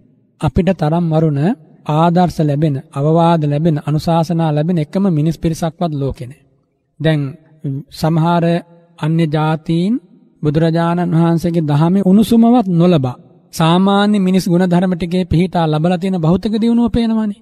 ඉතින් අපි මේ ධර්මයේ පිහිටියොත් භෞතික දියුණුවත් ආධ්‍යාත්මික දියුණුවත් ඉහළම තැනට නිසකව දියුණු කරන්න පුළුවන් ඒ විශ්වාසය ඕනි හදවත්වල මිනිසුන්ගේ. හදවත් වලින් දැන් මිනිසු මානසික මට්ටමින් කඩා වැටිලා විසිරිලා බෙලහීන වෙලා එහෙම හිතලා හරියන්නේ නැහැ වරුණ. බුදුරජාණන් වහන්සේගේ අසිරිමත් ජීවිතය අපේ ජීවිතය නගා සිටවන ප්‍රාණය කරගන්න ඕනේ. නිතර කල්පනා කරන්නේ මහා වීර මුනිවරයෙක් අපේ ශාස්ත්‍රඥ වහන්සේ කියලා. ඒ මතකය මිනිසුන්ට නැති වුණේ. ඒ මානසිකාරය මිනිසුන්ට නැති වුණේ එතනයි මිනිසුන්ගේ මනස කඩා වැටුනේ. හයිය නැති වුණා. හයිය නැති කළා. ඒකට කාටවත් දොස් කියලා වැඩක් නැහැ. එනිසා වරුණ අපි දැන් බුදුරජාණන් වහන්සේ ගැන හිතලා ඒ තාදී ගුණේ අකම්පිත බව අටලෝ දහමට නොසැලුන විදිය ඒවා හිත හිතා ඒව අසහස අපේ ජීවිත අපි හදාගන්නවා. වරුණ මුලින් මුලින් සමහර දේවල් දරන්න අමාරුයි. පුංචි තැන පෑරෙන හිත කාලයක් යද්දී කොහොම හරි මේ ධර්මයේ හුරු කරලා හැදුවාම මෙල්ල කරලා ලොකු තැනකවත් නොපෑරෙන්න හදාගන්න පුළුවන්. මේ ධර්මයේ ආනිසංසය කියන්නේ ඒකයි වරුණ. මේ ධර්මයේ පුරුදු කරන කෙනාට ඒ දහම තුලම ප්‍රත්‍යුපකාර ලැබෙනවා. ධර්මයට බය වෙන්න එපා. ධර්මය අසන්න බය වෙන්න එපා වරුණ. ධර්මය අසන්න හැම කෙනාම කැමති වෙන්න ඕනි. ධර්ම ඡන්දේ තියෙන්න ඕනි. වැරදි තැන් පෙන්වන්නේ මේ දහමෙන්. පෙන්වලා නිවැරදි කරගන්න අත දෙන්නේ මේ දහමෙන්. නිවැරදි වෙලා ලබන ඵලය ලබන්නත් අත දෙන්නේ මේ දහමෙන්. අපිට මේ තරම් සාදර දහමක් ලෝකේ ආයේ නැහැ. මේ තරම් අනුකම්පා කරපු ශාස්ත්‍රු වහන්සේ නමක් ලෝකේ ආයේ නැහැ. ඉතින් මේ ගැන මේ මිනිස්සු හිතන්න ඕනි වරුණ. ලෝකේ පොදු මහ ජනතාවට මේ පණිවිඩයයි මේ බුදුරජාණන් වහන්සේ ලබා දුන්නේ. ඒ නිසා කෙනෙක් දෙන්නෙකුට නෙමෙයි, ජාතියකට නෙමෙයි, යුගයකට නෙමෙයි වරුණ. මිනිසුන්ටයි දෙවියන්ටයි බ්‍රහ්මයන්ටයි සමස්ත සත්වයන්ටම ශාස්ත්‍රෝන් වහන්සේ. ඉතින් මේ මිහිරි පණිවිඩයට සවන් දීලා භාග්‍යවතුන් වහන්සේ සමග ඒ මිහිරි දහම් පණිවිඩය සමග උරණ නොවි සංඝරත්නය සමග උරණ නොවි පටු අපේක්ෂාවකින් පටු බැල්මකින් පටු සීමා සම්මුතීන් තුල මනස හසුරුවලා මනස පිහිටවල මේ දෙස නොබලා වරුණ. විවට වූ මනසකින් මේ දෙස බලන්න. බුදුරජාණන් වහන්සේගේ කරුණා දෑස මහා කරුණාව උතුරපු හදවත වදාළ මිහිරි දහම් මේ ඔක්කොම දැනෙන්න ඉඩ දෙන්න හදවතට. මේ මිනිසුන්ට කාරුණික ආමන්ත්‍රණයක් කළේ මිනිස් මනස සුවපත් කරන්න ඔසුවක් මේ ලබා දුන්නේ ධර්මය තුලින්. එනිසා වරුණ අකම්පිත වෙන්න ඕනි ශාස්ත්‍රෝන් වහන්සේ ගැන හිත හිතා. දුක් වෙලා ලතැවුළු හදාගෙන වැඩක් නෑ වරුණ. අර දසරත ජාතකයේ භාග්‍යතුන් වහන්සේ වදාලේ මම හඬනවා මම වැළපෙනවා. මුලාවටපත් වෙලා මමත් හඬන්න මමත් වැළපෙන්නම් කියලා රාම මහ බෝසතාණන් වහන්සේ වදාලා මියගිය දසරත රජතුමා යලි නැගිටිනවා නම් ඒ දේ වෙන්නේ නැහැනේ මගේ තාත්තා බව සැබෑව. මට අප්‍රමාණ සෙනෙහසක් ඇති බව සැබෑව. ඒ දසරත රජතුමාට රාම මහ බෝසතාණන් වහන්සේ සීතා දේවිය ලක්කන කුමාරිය නොදැකීමේ දුකින් කලුරිය කළේ ඒ තරම් සෙනෙහසි පිය මහ රජ කෙනෙක් ඒ රජතුමා මිය ගියා කියන ආරංචියට සෙසු දරුවෝ ඔක්කොම සිහිසුන් වෙලා වැටුණා. වතාවක් දෙවතාවක් නෙමෙයි කිහිප වතාවක්. හැබැයි මහබෝසත් රාම පඬිතුමා වදාලේ මම හඬන්නම් මම වැළපෙන්නම් මම ශෝක කරන්නම් තාත්ත නැගිටිනවනම්. ඉතින් අන්න ඒ වගේ වරුණ අපි මේ ජීවිතේ හිතන්න පුරුදු වුණේ නැත්තම් කවද්ද දුක අවසන් වෙන්නේ. හැබැයි වරුණ මේ කාරණයක් සිහි කරන්නේ මේ මේ ගලපා ගැනීම තරමක් අමාරුයි. අපිට අඬලා හුරු මිනිස්සුනේ. සංසාරේ කඳුළු සාගර පුරවන්න. මටත් තියෙන සනන්සේ අන්න එතන තමයි ප්‍රශ්නේ. දැන් මිනිස්සු මෙච්චර සාමාන්‍ය මිනිස්සයාට මේ කම්පාව ඇයි මෙච්චර මේකෙන් ගැලවෙන්න අපි කොහොමද මූලාරම්භයක් ලබා ගන්නට ඕන මෙච්චර ප්‍රශ්න ගොඩක් එක්ක අපි කඳුළු සාගරයක ඔබ වහන්සේ සිහිපත් කරනවා වගේ ජීවත් වෙන්නේ එවැනි තත්ත්වයක් තුල බුදුරජාණන් වහන්සේ කෙනෙකු වගේ පාරමී ධර්මයන් පුරලා ඊට පස්සේ උපපාරමී පරමත්ත පාරමී ආදී කොටගත්තු මේ පාරමී ධර්මයන් සම්පූර්ණ කරලා උන්වහන්සේ ඒ සඳහා පුහුණුවක් ලබා ගත්තා. අපේ ජීවිතවලට ඒ පුහුණුවක් නැත්. අපි ඇත්තටම කොහොමද අපේ ජීවිත වෙනස් කරගන්නේ? මේ වගේ තත්වයකදී මේ වගේ අටලෝ දහමක් ඉදිරියේ තාදී ගුණය අපි ඇති කරගන්න අපිට එහෙම හැකියාවක් තියනවාද? පින්වත් වරුණ, ඒ හැකියාව තියෙනවා බුදුරජාණන් වහන්සේ නිසා. සාගර පුරවන්න හඬපු අපි ඒ වගේම සාගරයක් පිරෙන්න ලේ හලපු අපි නේ අද මේ තාම සංසාරේ ගමන් කරන්නේ මේක සනාතන සත්‍යයක්නේ අඬලා හරි මේ ලෝකේ අපිට ඒකාන්තයෙන් මැරෙන්න සිද්ධ වෙනවානේ. ඒක සත්‍යයක්නේ. එතකොට ප්‍රිය විප්‍රයෝග දුකට මුහුණ දෙන්න සිද්ධ වෙනවානේ. ඇඬුවත් ප්‍රිය විප්‍රයෝගය සිද්ධ වෙනවා. නොහැඬුවත් ප්‍රිය විප්‍රයෝගය සිද්ධ වෙනවා. හැඬීමේ නොහැඬීමේ වෙනස හඳුනා ගන්න ඕනේ. දුක් වීමේ නොවීමේ වෙනස හඳුනා ගන්න ඕනේ. හිත හැදීමේ හිත නොහැදීමේ වෙනස හඳුනා ගන්න ඕනේ. ඒ වගේම ඒ ඒ අරමුණේ කම්පා වීමේ සහ නොවීමේ වෙනස ප්‍රඥාවෙන් දකින්න ඕනි. එසා ප්‍රඥාව නැමැති ආලෝකයේ බුදුවදන් එළියෙන් හදවතේ පහළ කරගන්න ඕනි. ඒ උදෙසා මහා බෝසතාණන් වහන්සේගේ ශ්‍රේෂ්ඨ ධීර චරිතය ආදර්ශයක් කරගන්න ඕන. නිතර ජාතක පොතේ ඒ මිහිරි ඉතිහාස සිදුවීම් නැවත නැවත සිහි කර කර සිහි කර කර අපේ හිත ජව සම්පන්න බල සම්පන්න කරන්න ඕනේ. දරා ගැනීම දියුණු කරන්න ඕනේ. මේක අනුපිළිවෙල පුහුණුවක ඵලයක් වරුණ. එකපාරට මිනිස්සු නොහඬා හිටියේ නැහැ. එකපාරට රාතන් වහන්සේලා බිහි වුණේ නැහැ. එකපාරට පසේ බුදුර බිහි වුණේ නැහැ. ලෞතර බුදුරජාණන් වහන්සේලා එකපාරට ක්ෂණිකව එහෙම පහළ වුණේ නැහැ. දීර්ඝ කාලීන පුහුණුවක අවසාන ඵලය ලෙස තමයි ඒ විරාගය උතුම මිහි මත මේ පහළ වුණේ. එතකොට ඒ ආපු පුහුණුව ලැබපු මාමත අපිට ඉතිහාස කතාවේ මනාව සටහන් කරලා තියෙනවා. හිතපු හැටි, පතපු හැටි, දුක් විඳපු හැටි, දුක් දරාගත්තේ හැටි අපිට මොන දුක්ද ලැබිලා තියෙන්නේ කියලා හිතෙනවා වරුණ. ඊළඟට මහා ජන සමාජයක අයුක්තිය කියන අසාධාරණීය කියන ඔය කොයි පැත්තෙන් බැලුවත් අටලෝ දහමනේ ජීවිතවලට ස්පර්ශ වෙන්නේ. එතකොට ඒ අටලෝ දහමේදී බෝසතාණන් වහන්සේලා මුහුණ දීපු විදියයි අපි මුහුණ දෙන විදිහයි වෙනස් වරුණ. ඒකයි තාම හඬ හඬා වැළපි වැළපි hina වෙන අරමුණේ සිනාසෙසි අපි තාම මේ සංසාරේ යන්නේ. බෝසතාණන් වහන්සේලා නුවණින් සිදුවීම දැක්. මෙතන තියෙන්නේ නුවණින් දැකලා වරුණ අවබෝධ කරගන්න එකක්. අපි කවුරුවත් මේ ආත්මීය ස්වභාවයක් සහිත පුද්ගලයෝ නෙවෙයි. සැබවින්ම හේතුඵල දහමක් අනුව සකස් වන ධර්මතා ටිකක් මේ තියෙන්නේ. මෙතන ඇති මමත්වයක් හෝ ආත්මීය හැඟීමක් හෝ මම මගේ කියලා පරාමර්ශණය කළ හැකි කිසිම දෙයක් හෝ වරුණ සැබවින්ම නැහැ. එක තත්පරයක් පවතින නාම රූප ධර්මයක් ලෝකේ නැහැ. ක්ෂණික වශයෙන් සියල්ල හටගෙන නිරුද්ධ වෙලා යනවා. ඒ බව නොදැකීම නිසා අර සන්තති ගණයට සමූහ ගණයට සැඟවිලා වැහිලා අපි මුලාවටපත් වෙලා තියෙන්නේ. ඉතින් අන්නේ තුල තමයි මේ ඔක්කොම කඳුළු උපදින්නේ. මේ සැලීම්, මේ හෙල්ලීම්, පිපිරීම්, ඉරිතැලීම් මේ ඔක්කොම අපේ හදවත්වල පහළ වෙන්නේ ඒ අනවබෝධය නිසා. ඒකයි අවබෝධයට භාග්‍යතුන් අපේ ධර්මයේ දේශනා කළේ. අවබෝධයෙන් නැමැති ඥානය හදවතේ උපදිනකන් අපි ඉන්නේ මොහය තුලයි. මෝහය නැමැති අන්ධකාරයේ හදවත ආක්‍රමණය කළ පවතින තාක් ඒ එළිය දකින්න බෑ අපිට. එළිය නොදකින තාක් සත්‍ය හම්බ වෙන්නේ නැහැ. සත්‍ය මුණ ගැහෙනකන් හදන්න වෙනවා. එන සත්‍ය දකින්නට දුර්ලභ වූ කලාතුරකින් ලැබෙන අවස්ථාව මේ අවස්ථාව. මේ අවස්ථාව ගිලිහවාගෙන මගහරවාගෙන ආය අවස්ථාවක සත්‍ය දකින්න ලැබෙන්නේ නැහැ. මේ අහස් කුස පිරෙන්න ප්‍රාතිහාර්ය කර කර අහසෙන් ගියපු තාපසයෝ ශ්‍රමණය හිටිය ඉතිහාසයේ වරුණ. හරි පුදුම සාගතයි මේ තාපසවරුන්ගේ හැකියාව. එතකොට මේ පායන ඉර නැමැත්තුවා පායන හඳ නවත්තපු මිනිස්සු හිටියා මහ පොළවේ ඔක්කොමත් ආයෙ ඉපදුනා ආයෙ දි รา ගියා ආයෙ මරුණා. බුදු කෙනෙක් පහළ වෙලා විතරයි දෙවියන්ටයි මිනිසුන්ටයි බ්‍රහ්මයන්ටයි ශ්‍රමණයන්ටයි බ්‍රහ්මණයන්ටයි ක්ෂත්‍රීය වෛශ්‍ය සුද්‍රාදී ඔය ජන සමාජයේ හැම කුලයකටමයි මේ ඇත්ත කියලා දෙන්නේ. ඒ ඇත්තට සාවධාන වෙන්නවත් අපේ මනත් නියතමානි නැත්නම් සංවර නැත්නම් ඒක නේද අවාසනාව. ඊළඟට ඒ සනාතන සත්‍ය ඇහෙන එක නේද උපරිම වාසනාව.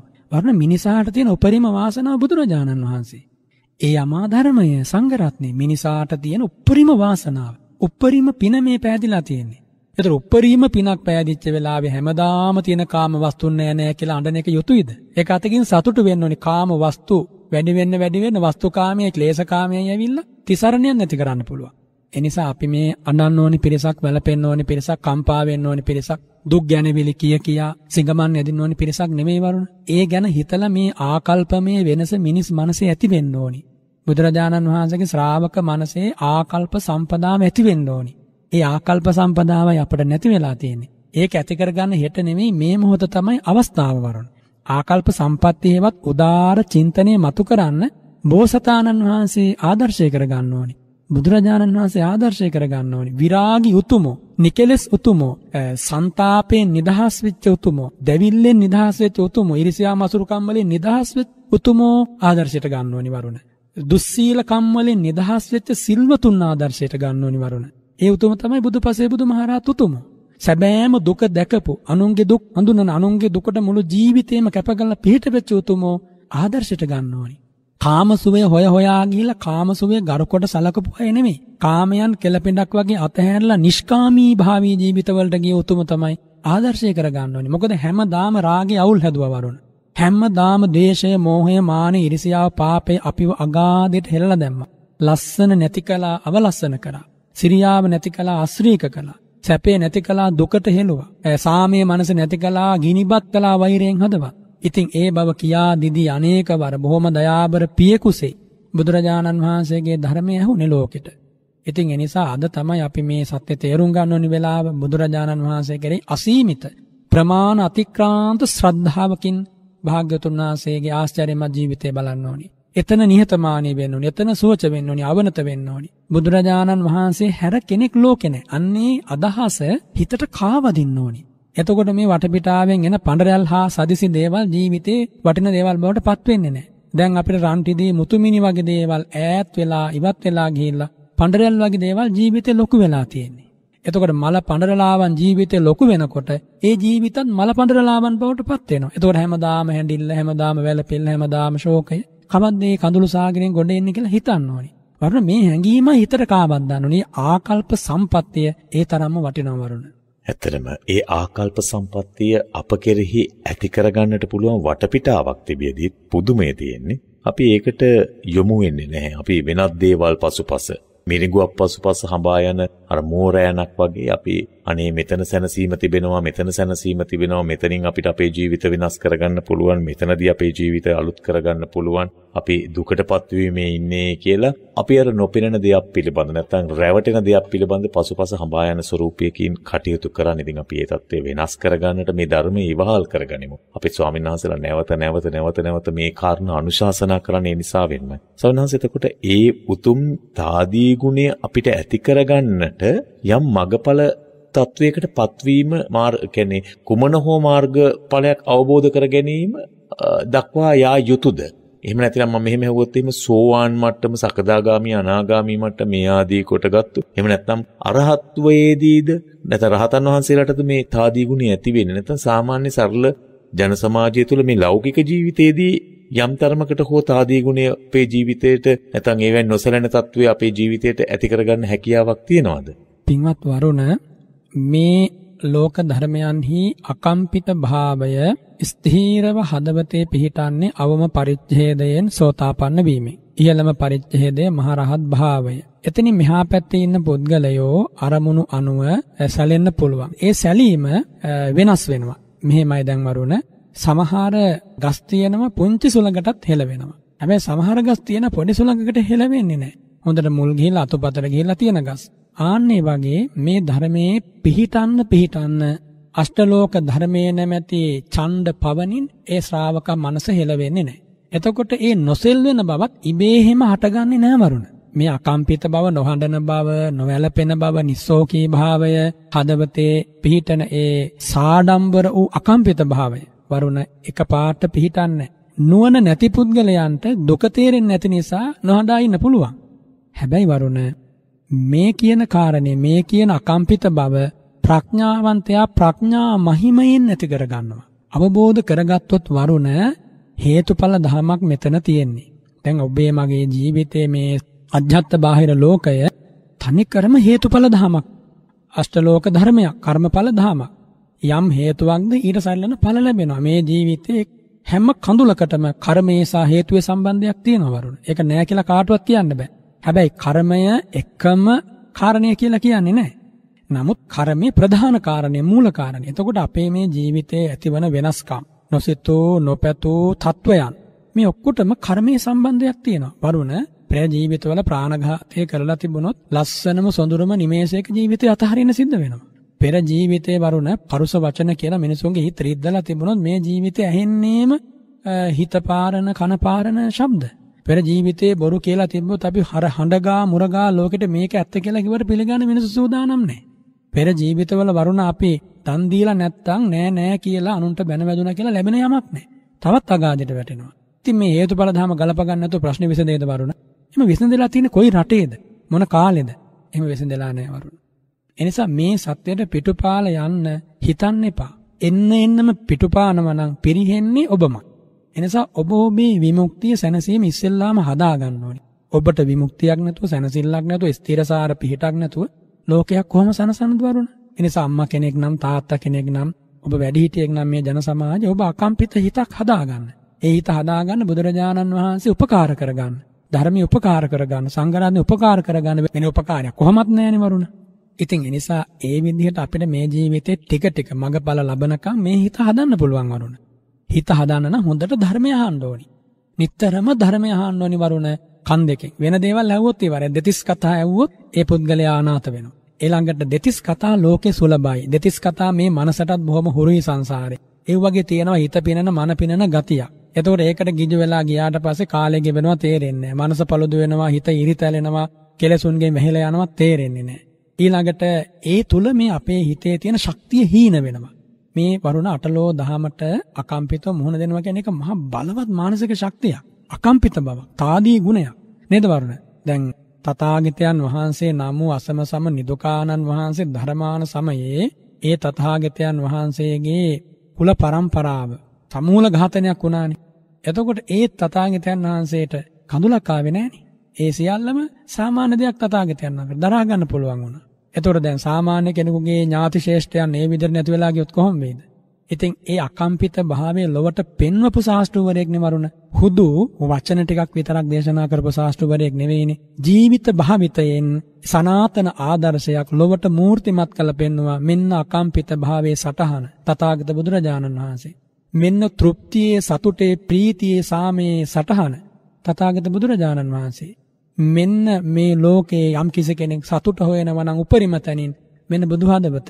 ඒ සත්‍ය පෙන්නවා. මෙන්න කරුණාවේ මුදිතාවේ ඵලය. මෙන්න දානයේ සීලයේ ගුණේ පාරමිතාවේ අග්‍රඵලය තථාගත බුදුරජාණන් වහන්සේ. මේ සත්‍ය ලෝකෙට පෙන්වලා දීලායි වරුණ අපිට භාග්‍යවතුන් වහන්සේ මේ ධර්ම මාර්ගය අනුදැන වදාළේ. මෙන්න සංසාරේ මෛත්‍රී කියලා ලැබපු ලස්සන රූපය. මෙන්න සංසාරේ වාක් සුචරිතයෙන් ලැබපු මිහිරි කටහඬ දෙවියෝ මමිත වෙච්ච කටහඬ. බ්‍රහ්මියෝ මමිත වෙච්ච කටහඬ දෙවියෝ බ්‍රහ්මියෝ මමිත වෙච්ච රූපය. ඉතින් වරුණ එහෙ වූ සජීවකරණයක් සිද්ධ කළා කුසලේ පින විශේෂයි ධර්මයේ විශේෂයි පාරමිතා විශේෂයි. එහෙම ශාස්ත්‍රවරයෙක් අතහැරලා වෙන මොන පිහිටක් ලබන්නද? එනිසා මේ ආවට ගියාට කියපු වචන ටිකක් එහෙම නැත්නම් ජීවිතේ එපා වෙලා පවුලේ අය නොසලකපු නිසා භරියාව හෝ එහෙම නැත්නම් ස්වාමියා හෝ පැනලා ගියපු නිසා එහෙම නැත්නම් වෙන වෙන ආබාධ නිසා සාමාන්‍ය ලෝකෙට මුහුණ දෙන්න ඇති නොහැකියාව නිසා හයියක් නැති නිසා කැලේකට ගිහිල්ලා හැංගිලා සිවුරක් පොරවගෙන එහෙම නෙවෙයිනි මරුණ. එහෙම නෙවෙයිනි. එහෙම තාපස ඕනතරම් ඉතිහාසෙ හිටියානේ. දරුවෝ සලකපු නැති ඉඳ කැලේකට ගිහිල්ලා යන්තම් සල්ලුවකින් විලිවසාගෙන ලෝකේ රවටපු අය ඕනතරම් හිටියානේ. ඒ භාග්‍යවතුන් වහන්සේ එහෙම නෙවෙයිනි. ඕනතරම් මේ කියන කාරණා සාක්ෂි සහිතයි සාධක සහිතයි ආබට ගියාට කියනේව නෙමෙයි. මිනිසුන්ගේ හිත හදන්න 아무තුවෙන් කියනේව නෙමෙයි. න ජන ලපනත්තම් න ජන කුවනත්තම්. ඒක බුද්ධ වචනයක්. මේ මිනිසු රවටන්න හරි නලවන්න හරි තථාගතයන් වහන්සේට උවමනා වුණේ නැහැ. මිනිසුන්ට ප්‍රඥාව දායාද කරන්නයි බුදුරජාණන් වහන්සේ කටයුතු කළේ. ප්‍රඥාව ජන සමාජයක් ලැබුවා. අද අපිට ඒ ප්‍රඥාලාභය ලැබපු ශ්‍රාවකයන්ගේ විරලත්වයක් තිබුණට ඒ ಭಾರತ ජන සමාජයේ බුදුන් දවස මොනතරම්නම් ශ්‍රාවක පිරිසක් ධර්මාබෝධය ලැබුවද? සරියුත් මහා මුගලන් පරම්පරාවේ යතිවරු කොච්චර වැඩ හිටියද? මහා කාශ්‍යප පරම්පරාවේ, ඉතින් වරුණ විශාකාවගේ පරම්පරාවේ අනාථපිණ්ඩික සිටුතුමගේ පරම්පරාව. ඉතින් එහෙම මිනිස්සු මේ මහ පොළොවක් මත අඬන අරමුණේ අඬන්න නැතුව ඉන්න පුළුවන් කියලා පෙන්නවා. සාමාන්‍ය මුළු ලෝකයක් වැළපෙන අරමුණේ වැළපෙන්න නැතුව ඉන්න පුළුවන් කියලා පෙන්නවා ලෝකයට. සාමාන්‍ය ලෝකයක් යුද වදින එනකොටා ගන්න මරා ගන්න අරමුණේ අපිට හිතින්වත් වෛර නොකර ඉන්න පුළුවන් කියලා සජීවකරණයක් ලෙස පෙන්නවා. තථාගත ශාසනය අන්න එහෙම තැන. දැන් අපිට මේක ආගන්තුක වුණාට දැන් මේ පුහුණුව ආගන්තුක පුහුණුවක් වුණාට අර කෙලස් තට්ටු දැන් හදවත වසාගෙන හිට ඉන්න නිසා දැන් මේ දහමේ මිහිර නොතේරුණාට මේ මිහිර දැනෙන්න ගත්ත දාට මේ මිනිස්සු මේ දහමට ඒ තරම් ආදරය කරනවා වරුණ. මේක හිත්වලට කාවත් දන්නයි අමාරු. මේ රසය මේ දහමේ සුවය දහම් ප්‍රීතිය හිත්වලට දැනෙච්ච දාට ඕන පෞකාරකේ පව් ටික අතහරිනවා වරුණ. එනිසා මිනිසුන්ගේ ජීවිතවල තියෙන දුර්ගුණ ඉදිරියේ ඔවුන් සාහසිකයන් නොකර ඔවුන් අපරාධකාරයන් නොකර මේ කාරුණිකව මේ අනුශාසනාව අවශ්‍යයි. මඟ පෙන්වීම අවශ්‍යයි. දයාබර සෙනෙහසින් කෙරෙන මිහිරි ආමන්ත්‍රණයට මිනිස් මනස උණු වෙනවා. තිරසනු නෙවෙයිනේ වරුණ. ඉතින් ඒකනේ නැති වෙලා දින පුංචි කාලේ ඉඳන්ම හිතවල රෞද්‍රත්වය නම් වැපිරෙන්නේ මොන මොනමයින් හරි වරුණ. අධ්‍යාපන ක්‍රමයකින් හරි සමාජ ආදර්ශයකින් හරි අසුරකින් හරි වෙන යම් නැරඹීමකින් හරි වෙන යම් ශ්‍රවණයකින් හරි හිතක ඇති වෙන්නේ හිත තුවාල වෙන හිත පුපුරවන හිත අවසන අරමුණු නම් එහෙව් හේතුන්ගෙන් අවසාන ඵලය සාමකාමී වෙන්න බෑනේ. අවසාන ඵලය මේ ජන සමාජයට හිතයිශී වෙන්න බෑනේ. ඉතින් අපි එනිසා අපේ අම්මලා තාත්තලා ගුරුවරු විශේෂයෙන් මේවා දැනගෙන මේ මිනිසුන්ගේ ළමයින්ගේ විශේෂයෙන් දරු පරපුරගේ හිත තනන්නට ඕනි. ඊට කලින් තමන්ගේ හිත හදාගෙන ඉන්න ඕනි. ලෝකෙට යමක් කියන්න කලින් තමන්ගේ ගුණේ පිහිටලා හිටියොත් කියන වචනේ අනුහස බැනි. පිළිගන්න ප්‍රවණතාව වැඩි. කියන දේ තමන්ගේ ජීවිතේ ගැවිලාවත් නැත්තම් කොයි වෙලාවකාරි සැබෑ ස්වභාවය පැනපු ගමන් ධර්මයටත් නිඳා කරනවා, තුනුරුවන්ටත් නිඳා කරනවා, කරන අයත් ඒ කියන අයත් පිරිහෙනවා, අහන අයත් පිරිහෙනවා. ඉතින් එහෙම අපරාධයක් නොකර අපිට පුළුවන් විදිහට මේ ධහමේ පිහිටලා මම පුළුවන් විදිහට කියලා අදහස් කළේ පැවිද්දෙක් අවම වශයෙන් මේ ධර්මයේ පිහිටිය යුතු ක්‍රමය තියෙනවා. අවම වශයෙන් මෙන්න මේ ටික පැවිද්ද කරන්න ඕනි. ගිහියා අවම වශයෙන් මෙන්න මේ ප්‍රතිපදාව ඉන්න ඕනි කියලා. අන්නේ අවම තැනවත් අවම වශයෙන් පිහිටලා. පරණ උපරිම තැනට යන අපේක්ෂාව හිතේ අඩුවක් නැතුව තියාගෙන හැසිරුණොත් අපිට වරදින්නේ නැහැ. වර්ධන පිරිසක් නෙමෙයි අපේ ඉතිහාසයේ අය වරද්දගත් පිරිසකුත් නෙමෙයි. එහෙමයි අපේ ස්වාමීනාස්. අපි යුක්තිය හොයනවා බොහෝ වෙලාවට. අපි දකිනවා විවිධ සමාජය තුළ උද්ඝෝෂණ තිබෙනවා, විවිධ සත්‍යක්‍රියා තියෙන විවිධ දේවල් කරන අපි ඒ තුළ කියන්නේ සමාජයට යහපතක් කරන්න, යුක්තිය පසින්දලන්න, යුක්තිය ඉෂ්ට සිද්ධ කරවන්න.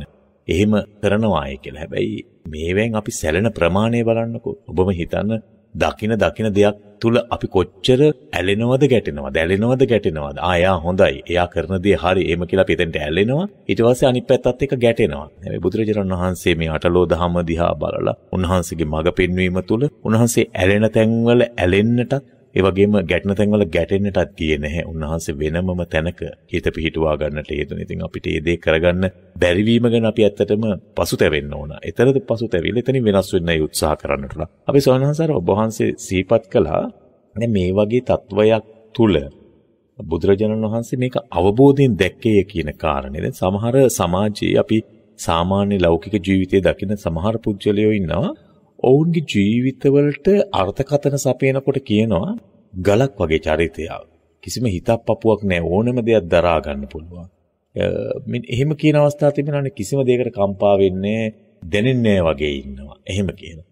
මේ මේ කියන කාරණාවයි තාදී ගුණය නැත්තම් මේ උතුම් ඕනෑම දෙයකින් කම්පා නොවෙන හිතක් හදාගැනීමේ ගුණයයි අතර වෙනසක් තියෙනවද ස්වාමීන් වහන්සේ? අවබෝධයෙන් දැකීමයි මේ තුලයි වෙනසක් තිබෙනවාද අපේ ස්වාමීන් වහන්සේ. පින්වත් වරුණ කවුරු කොහොම කිව්වත් හඬන්නේ කියලා ඉන්න අය හිත හයියයි කියලා කියන අය අඬන අරමුණු තියෙන ඔය අරමුණ එනකන් විතරයි ඒ ඔවුන්ගේ ජීවිතවල පිළිඹු කෙරෙන වීරත්වය තියෙන්නේ. එනිසා මේ කියන ශාසනීයතාදී ගුණය එබඳු වූ කාලික වූ සීමිත වූ අකම්පිත භාවයක් නෙවෙයි. මේ කියන අවේදිත ගුණය අවබෝධය තුලින් සත්‍ය දැකලා යති වෙන්නේ. සත්‍ය දැකපු දාට ඇත්ත දැකපු දාට හඬන්න තැනක් හඬන්න හේතුවක් නැහැ. හඬන හේතුයි නැති කරන්නේ. එතකොට හැඬීම නැති වෙනවා. වැළපෙන කම්පා වෙන හේතුයි නැති කරන්නේ. රාගය, දේශය, මෝහය කියන්නේ හඬන වැළපෙන කම්පා වෙන හේතු. ඒව නැති වෙච්ච ගමන්ම බාහිර සමාජයේ කවුරුවත් මට සෙනෙහස දක්වන්න ඕනි, මට ආදරය දක්වන්න ඕනි, මට කැමති වෙන්න ඕනි. එහෙම ඕමනා එන්නේ නැහැ. ඉතින් මට සලකන්න ඕනි, මගේ ಗುಣ කියන්න ඕනි, මට ප්‍රධානත්වය දෙන්න ඕනි. එහෙම උවමනා ඒ හිතට එන්නේ නැහැ. ඒක මුළුමනින්ම ඒ උවමනා එන මානසිකත්වෙම නැති වෙලා ඉවරයි. එහෙම හදවතක් දරන උතුමෙකුට මේ ජන සමාජය කොහොම සැලකුවත් වෙනසක් දකින්නේ නැහැ. බැන්නත් මිහිරි වචනයෙන් කතා කළා අමුතු වෙනසක් අමුතු කම්පනයක් නැහැ. ඒතර එතෙන්ට හිත ඇතිවුණු කරගන්නේ අවබෝධයෙන් මිසක් හේතුඵල ධම දැකලා මිසක් එහෙම නැත්තම් අර ආඩම්බරකමින් හරි අතේ පය හය නිසා ධනෙ නිසා හරි එහෙම නෙමෙයි. ලෝකෙට පේන අඩන් නැති බොහෝ දෙනා ලෝකෙට නොපෙනී අඩනවනේ. බොහෝ දෙනා හිතනවා වෙන්න පුළුවන් මහා වීරයෝ කියලා.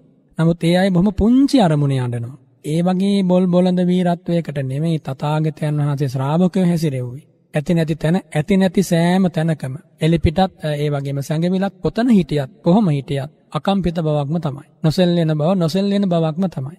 අන්නේ සැබෑවට හිත ගන්න නම් අවබෝධය ඇති කර ගන්නට ඕන. එහෙම නැතුව අර මොන දුකක්වත් දැනෙන්නේ නැති කරුණාවක් නැති දයාවක් නැති මනසක තියෙන ඒ ඡණ්ඩත්වය ඒ ප්‍රචණ්ඩ බව ඒ රෞද්‍ර බව මේ අකම්පිත බව නෙමෙයි වරුණ. හිත උණු වෙන්නේ නැති බව නිස්කාරුණිකත්වය තාදී ගුණය නෙමෙයි. මෛත්‍රයක් නැති බව තාදී ගුණය නෙමෙයි. වරදවා පටලවා ගන්නේ නැතුව ඒක පැහැදිලිව තේරුම් ගන්න ඕනි කාරණයක්. මේ තාදී ගුණයේ ඉහළම තැනින් වැඩ හිටපු උතුමන් වහන්සේට තිබුණේ ඉහළම කරුණාව මහා කරුණාව මහා මහා මුදිතාව. ඒ බුදුහදවතේ පහළ වෙච්ච උදාර බ්‍රහ්ම විහාර ගුණ. එතකොට මේ තාදී ගුණයට ආවහම තමයි මේ අකම්පිත භාවයට ආවම තමයි මුළු ලෝකයට බෙහෙදයක් නැතුව සලකන්න පුළුවන් වෙන්නේ. අසරණයන්ට සරණක් වෙන්න පුළුවන් වෙන්නේ.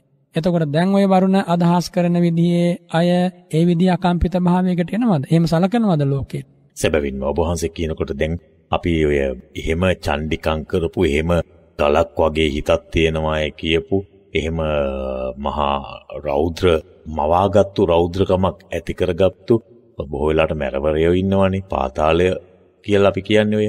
ඉතින් ඒ අය අපි දකිනවා හිරගෙදරට ගියාම අපි හිරගෙදර වැඩසටහන් වලට ගිහිල්ලා තියෙනවා. ගියාම ඔවුන් කොච්චර අසරණ වෙලා එතන ඉන්නවද කියලා. වැඩි ඕනේ හිරගෙදරට ඇතුල් වෙනකොටම කියනවා හිරකරුවෝද මිනිස්සයෝය කියලා. ඉතින් ඔවුන්ගේ දුක එතනදී ප්‍රදර්ශනය වෙනවා. අර චණ්ඩිකං, අභීතකං, එහෙම නැතිනම් Tamanගේ තිබෙන මැර ස්වභාවය, ඡණ්ඩ ස්වභාවය, මොනවටවත් සැලෙන්නේ නැති ස්වභාවය ඔක්කොම එතනදී සැලෙන ස්වභාවයටපත් වෙනවා. සහ එයත් තව තීව්‍ර වෙනවා මරණ දඬුවම වගේ නියම වුණාට පස්සේ. ඉතින් මේ වගේ තැන්වලදී අපි හිතන්නට ඕන එහෙම වෙනසක් කරද මේ බුදුරජාණන් වහන්සේ අනුදැන වදාරලා තියෙන්නේ මේ තාදී ගුණය හඳුන්වලා තියෙන්නේ කොහොමද කියන එක ඔබට දැනෙන්නට ඕන. ඔබ වහන්සේ අර සිහිපත් කර දැන් ආහාරයේදී අපේ ස්වාමීන් වහන්සේ අපි ඇත්තටම ඉක්මනින්ම වෙනස් වෙනවනේ. දැන් ඇත්තටම අර වහන්සේ කිව්වා වගේ මුගලන් මහරහතන් වහන්සේ දුර්භික්ෂ සමයක ඒ වගේ ආහාර හිඟ වෙලා බොහොම අසරණතාවයකට පත් වෙන මොහොතේදී මුගලන් මහරහතන් වහන්සේ විමසනවානේ මේ මේ මේ මේ පෘථුවිය නැත්නම් මේ අපිට දකින්න තියෙන පොළව අනිත් පැත්ත පෙරලලා දෙන්නම් කියන කාරණේ. වහන්සේ සිහිපත් කරන්නට එදුණා මට එතනදී මතක් වුණේ. ඉතින් මේ වගේ තත්වයක් තුලකදී නැත්නම් අපි බොහෝ වෙලාවට බලන්නේ ලාභය මොනවා හරි Tamanට වාසිය, Tamanට යමක් ලැබෙන තැනකදී අපේ හිත රග්ගල වෙනස් වෙනවා. එහෙම තත්වයකදීත් මේ ගුණය ආරක්ෂා කරන්න. තව මේකෙන් කොච්චර සත්තු ප්‍රමාණයක් සත්වයන්ට කොච්චර බලපෑමක් එල්ල වේවිද? විපිරිසර වේවිද? මෙන්න මේ කියන කාරණා උන්වහන්සේ සොයලා බැලුවා. දැන් අපේ ස්වාමීන් අර මට ආයි මතක් වෙනවා අර කසී භාරද්වාජ බුදුරජාණන් වහන්සේට කියනනේ ගොවිතැන් කරලා ඒ ගොවිතැන් කරලා ජීවත් වෙන්න පුළුවන් කියන කාරණේ. එහෙම කියලා මේ ඊට පස්සේ බුදුරජාණන් වහන්සේගේ අනුශාසනාවෙන් පැහැදිලා ඊට පස්සේ කිරිබත් පවා පූජා කරන බුදුරජාණන් වහන්සේක පිළිගන්නේ නැහැ නේ ස්වාමීන් වහන්සේ. ඊට පස්සේ තවත් වෙනක තියෙනවා නේද සුන්දරික භාරද්වාජත් ඒ වගේ පූජාවක් තියලා බ්‍රාහ්මණයෙකුට පූජා කරන්න ඕන කියලා හිතාගෙන බුදුරජාණන් වහන්සේ වෙතට ගෙනහිල්ලා පූජා කරන්න හදන වෙලාවේ ස්වාමීන් වහන්සේ කෙනෙක් කියලා දැනගත්තට පස්සේ මුඩුමහන කියලා අමතර ඊටසේ ආපහු ඒ බුදුරජාණන් වහන්සේගේ අනුශාසනාව අහලා පැහැදිලා පූජා කරන්න හදන දැන් අපි කෑමේදී අපේ හිත හරි ඉක්මනට චංචල වෙනවනේ.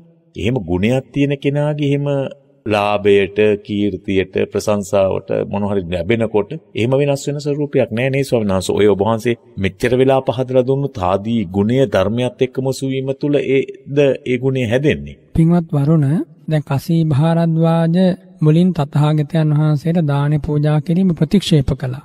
නමුත් කසී භාරද්වාජ දැනගෙන හිටියේ නෑ මේ මහා කාරුණිකයන් වහන්සේ වැඩලා ඉන්නේ මටම පිහිට වෙන්න, මටම සරණ වෙන්න.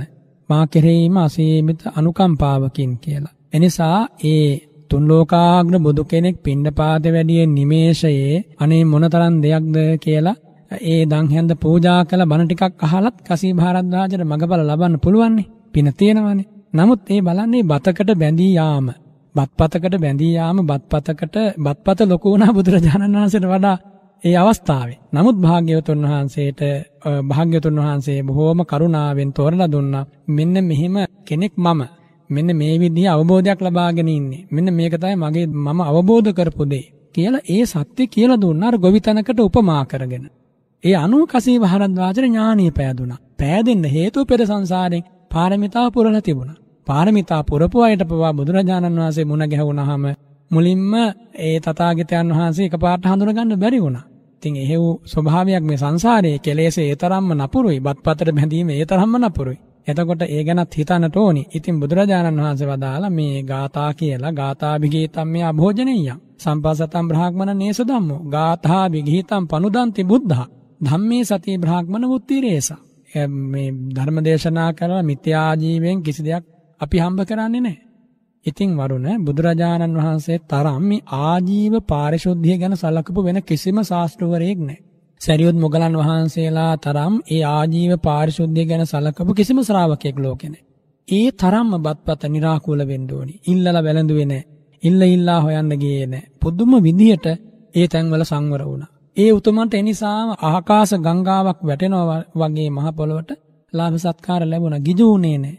එනිසා වරුණ අපි හැම කෙනාම මේ කාරණය ගැන බොහෝම සැලකිලිමත් වෙන්න ඕනේ. බුදුරජාණන් වහන්සේ ලාභ සත්කාර හොයාගෙන ගියෙත් නැහැ. හොයාගෙන නොගිය හින්දාම අසීමිත ලාභ සත්කාර ලැබුණා. ලැබිච්ච ඒවට බැඳුනේත් නැහැ.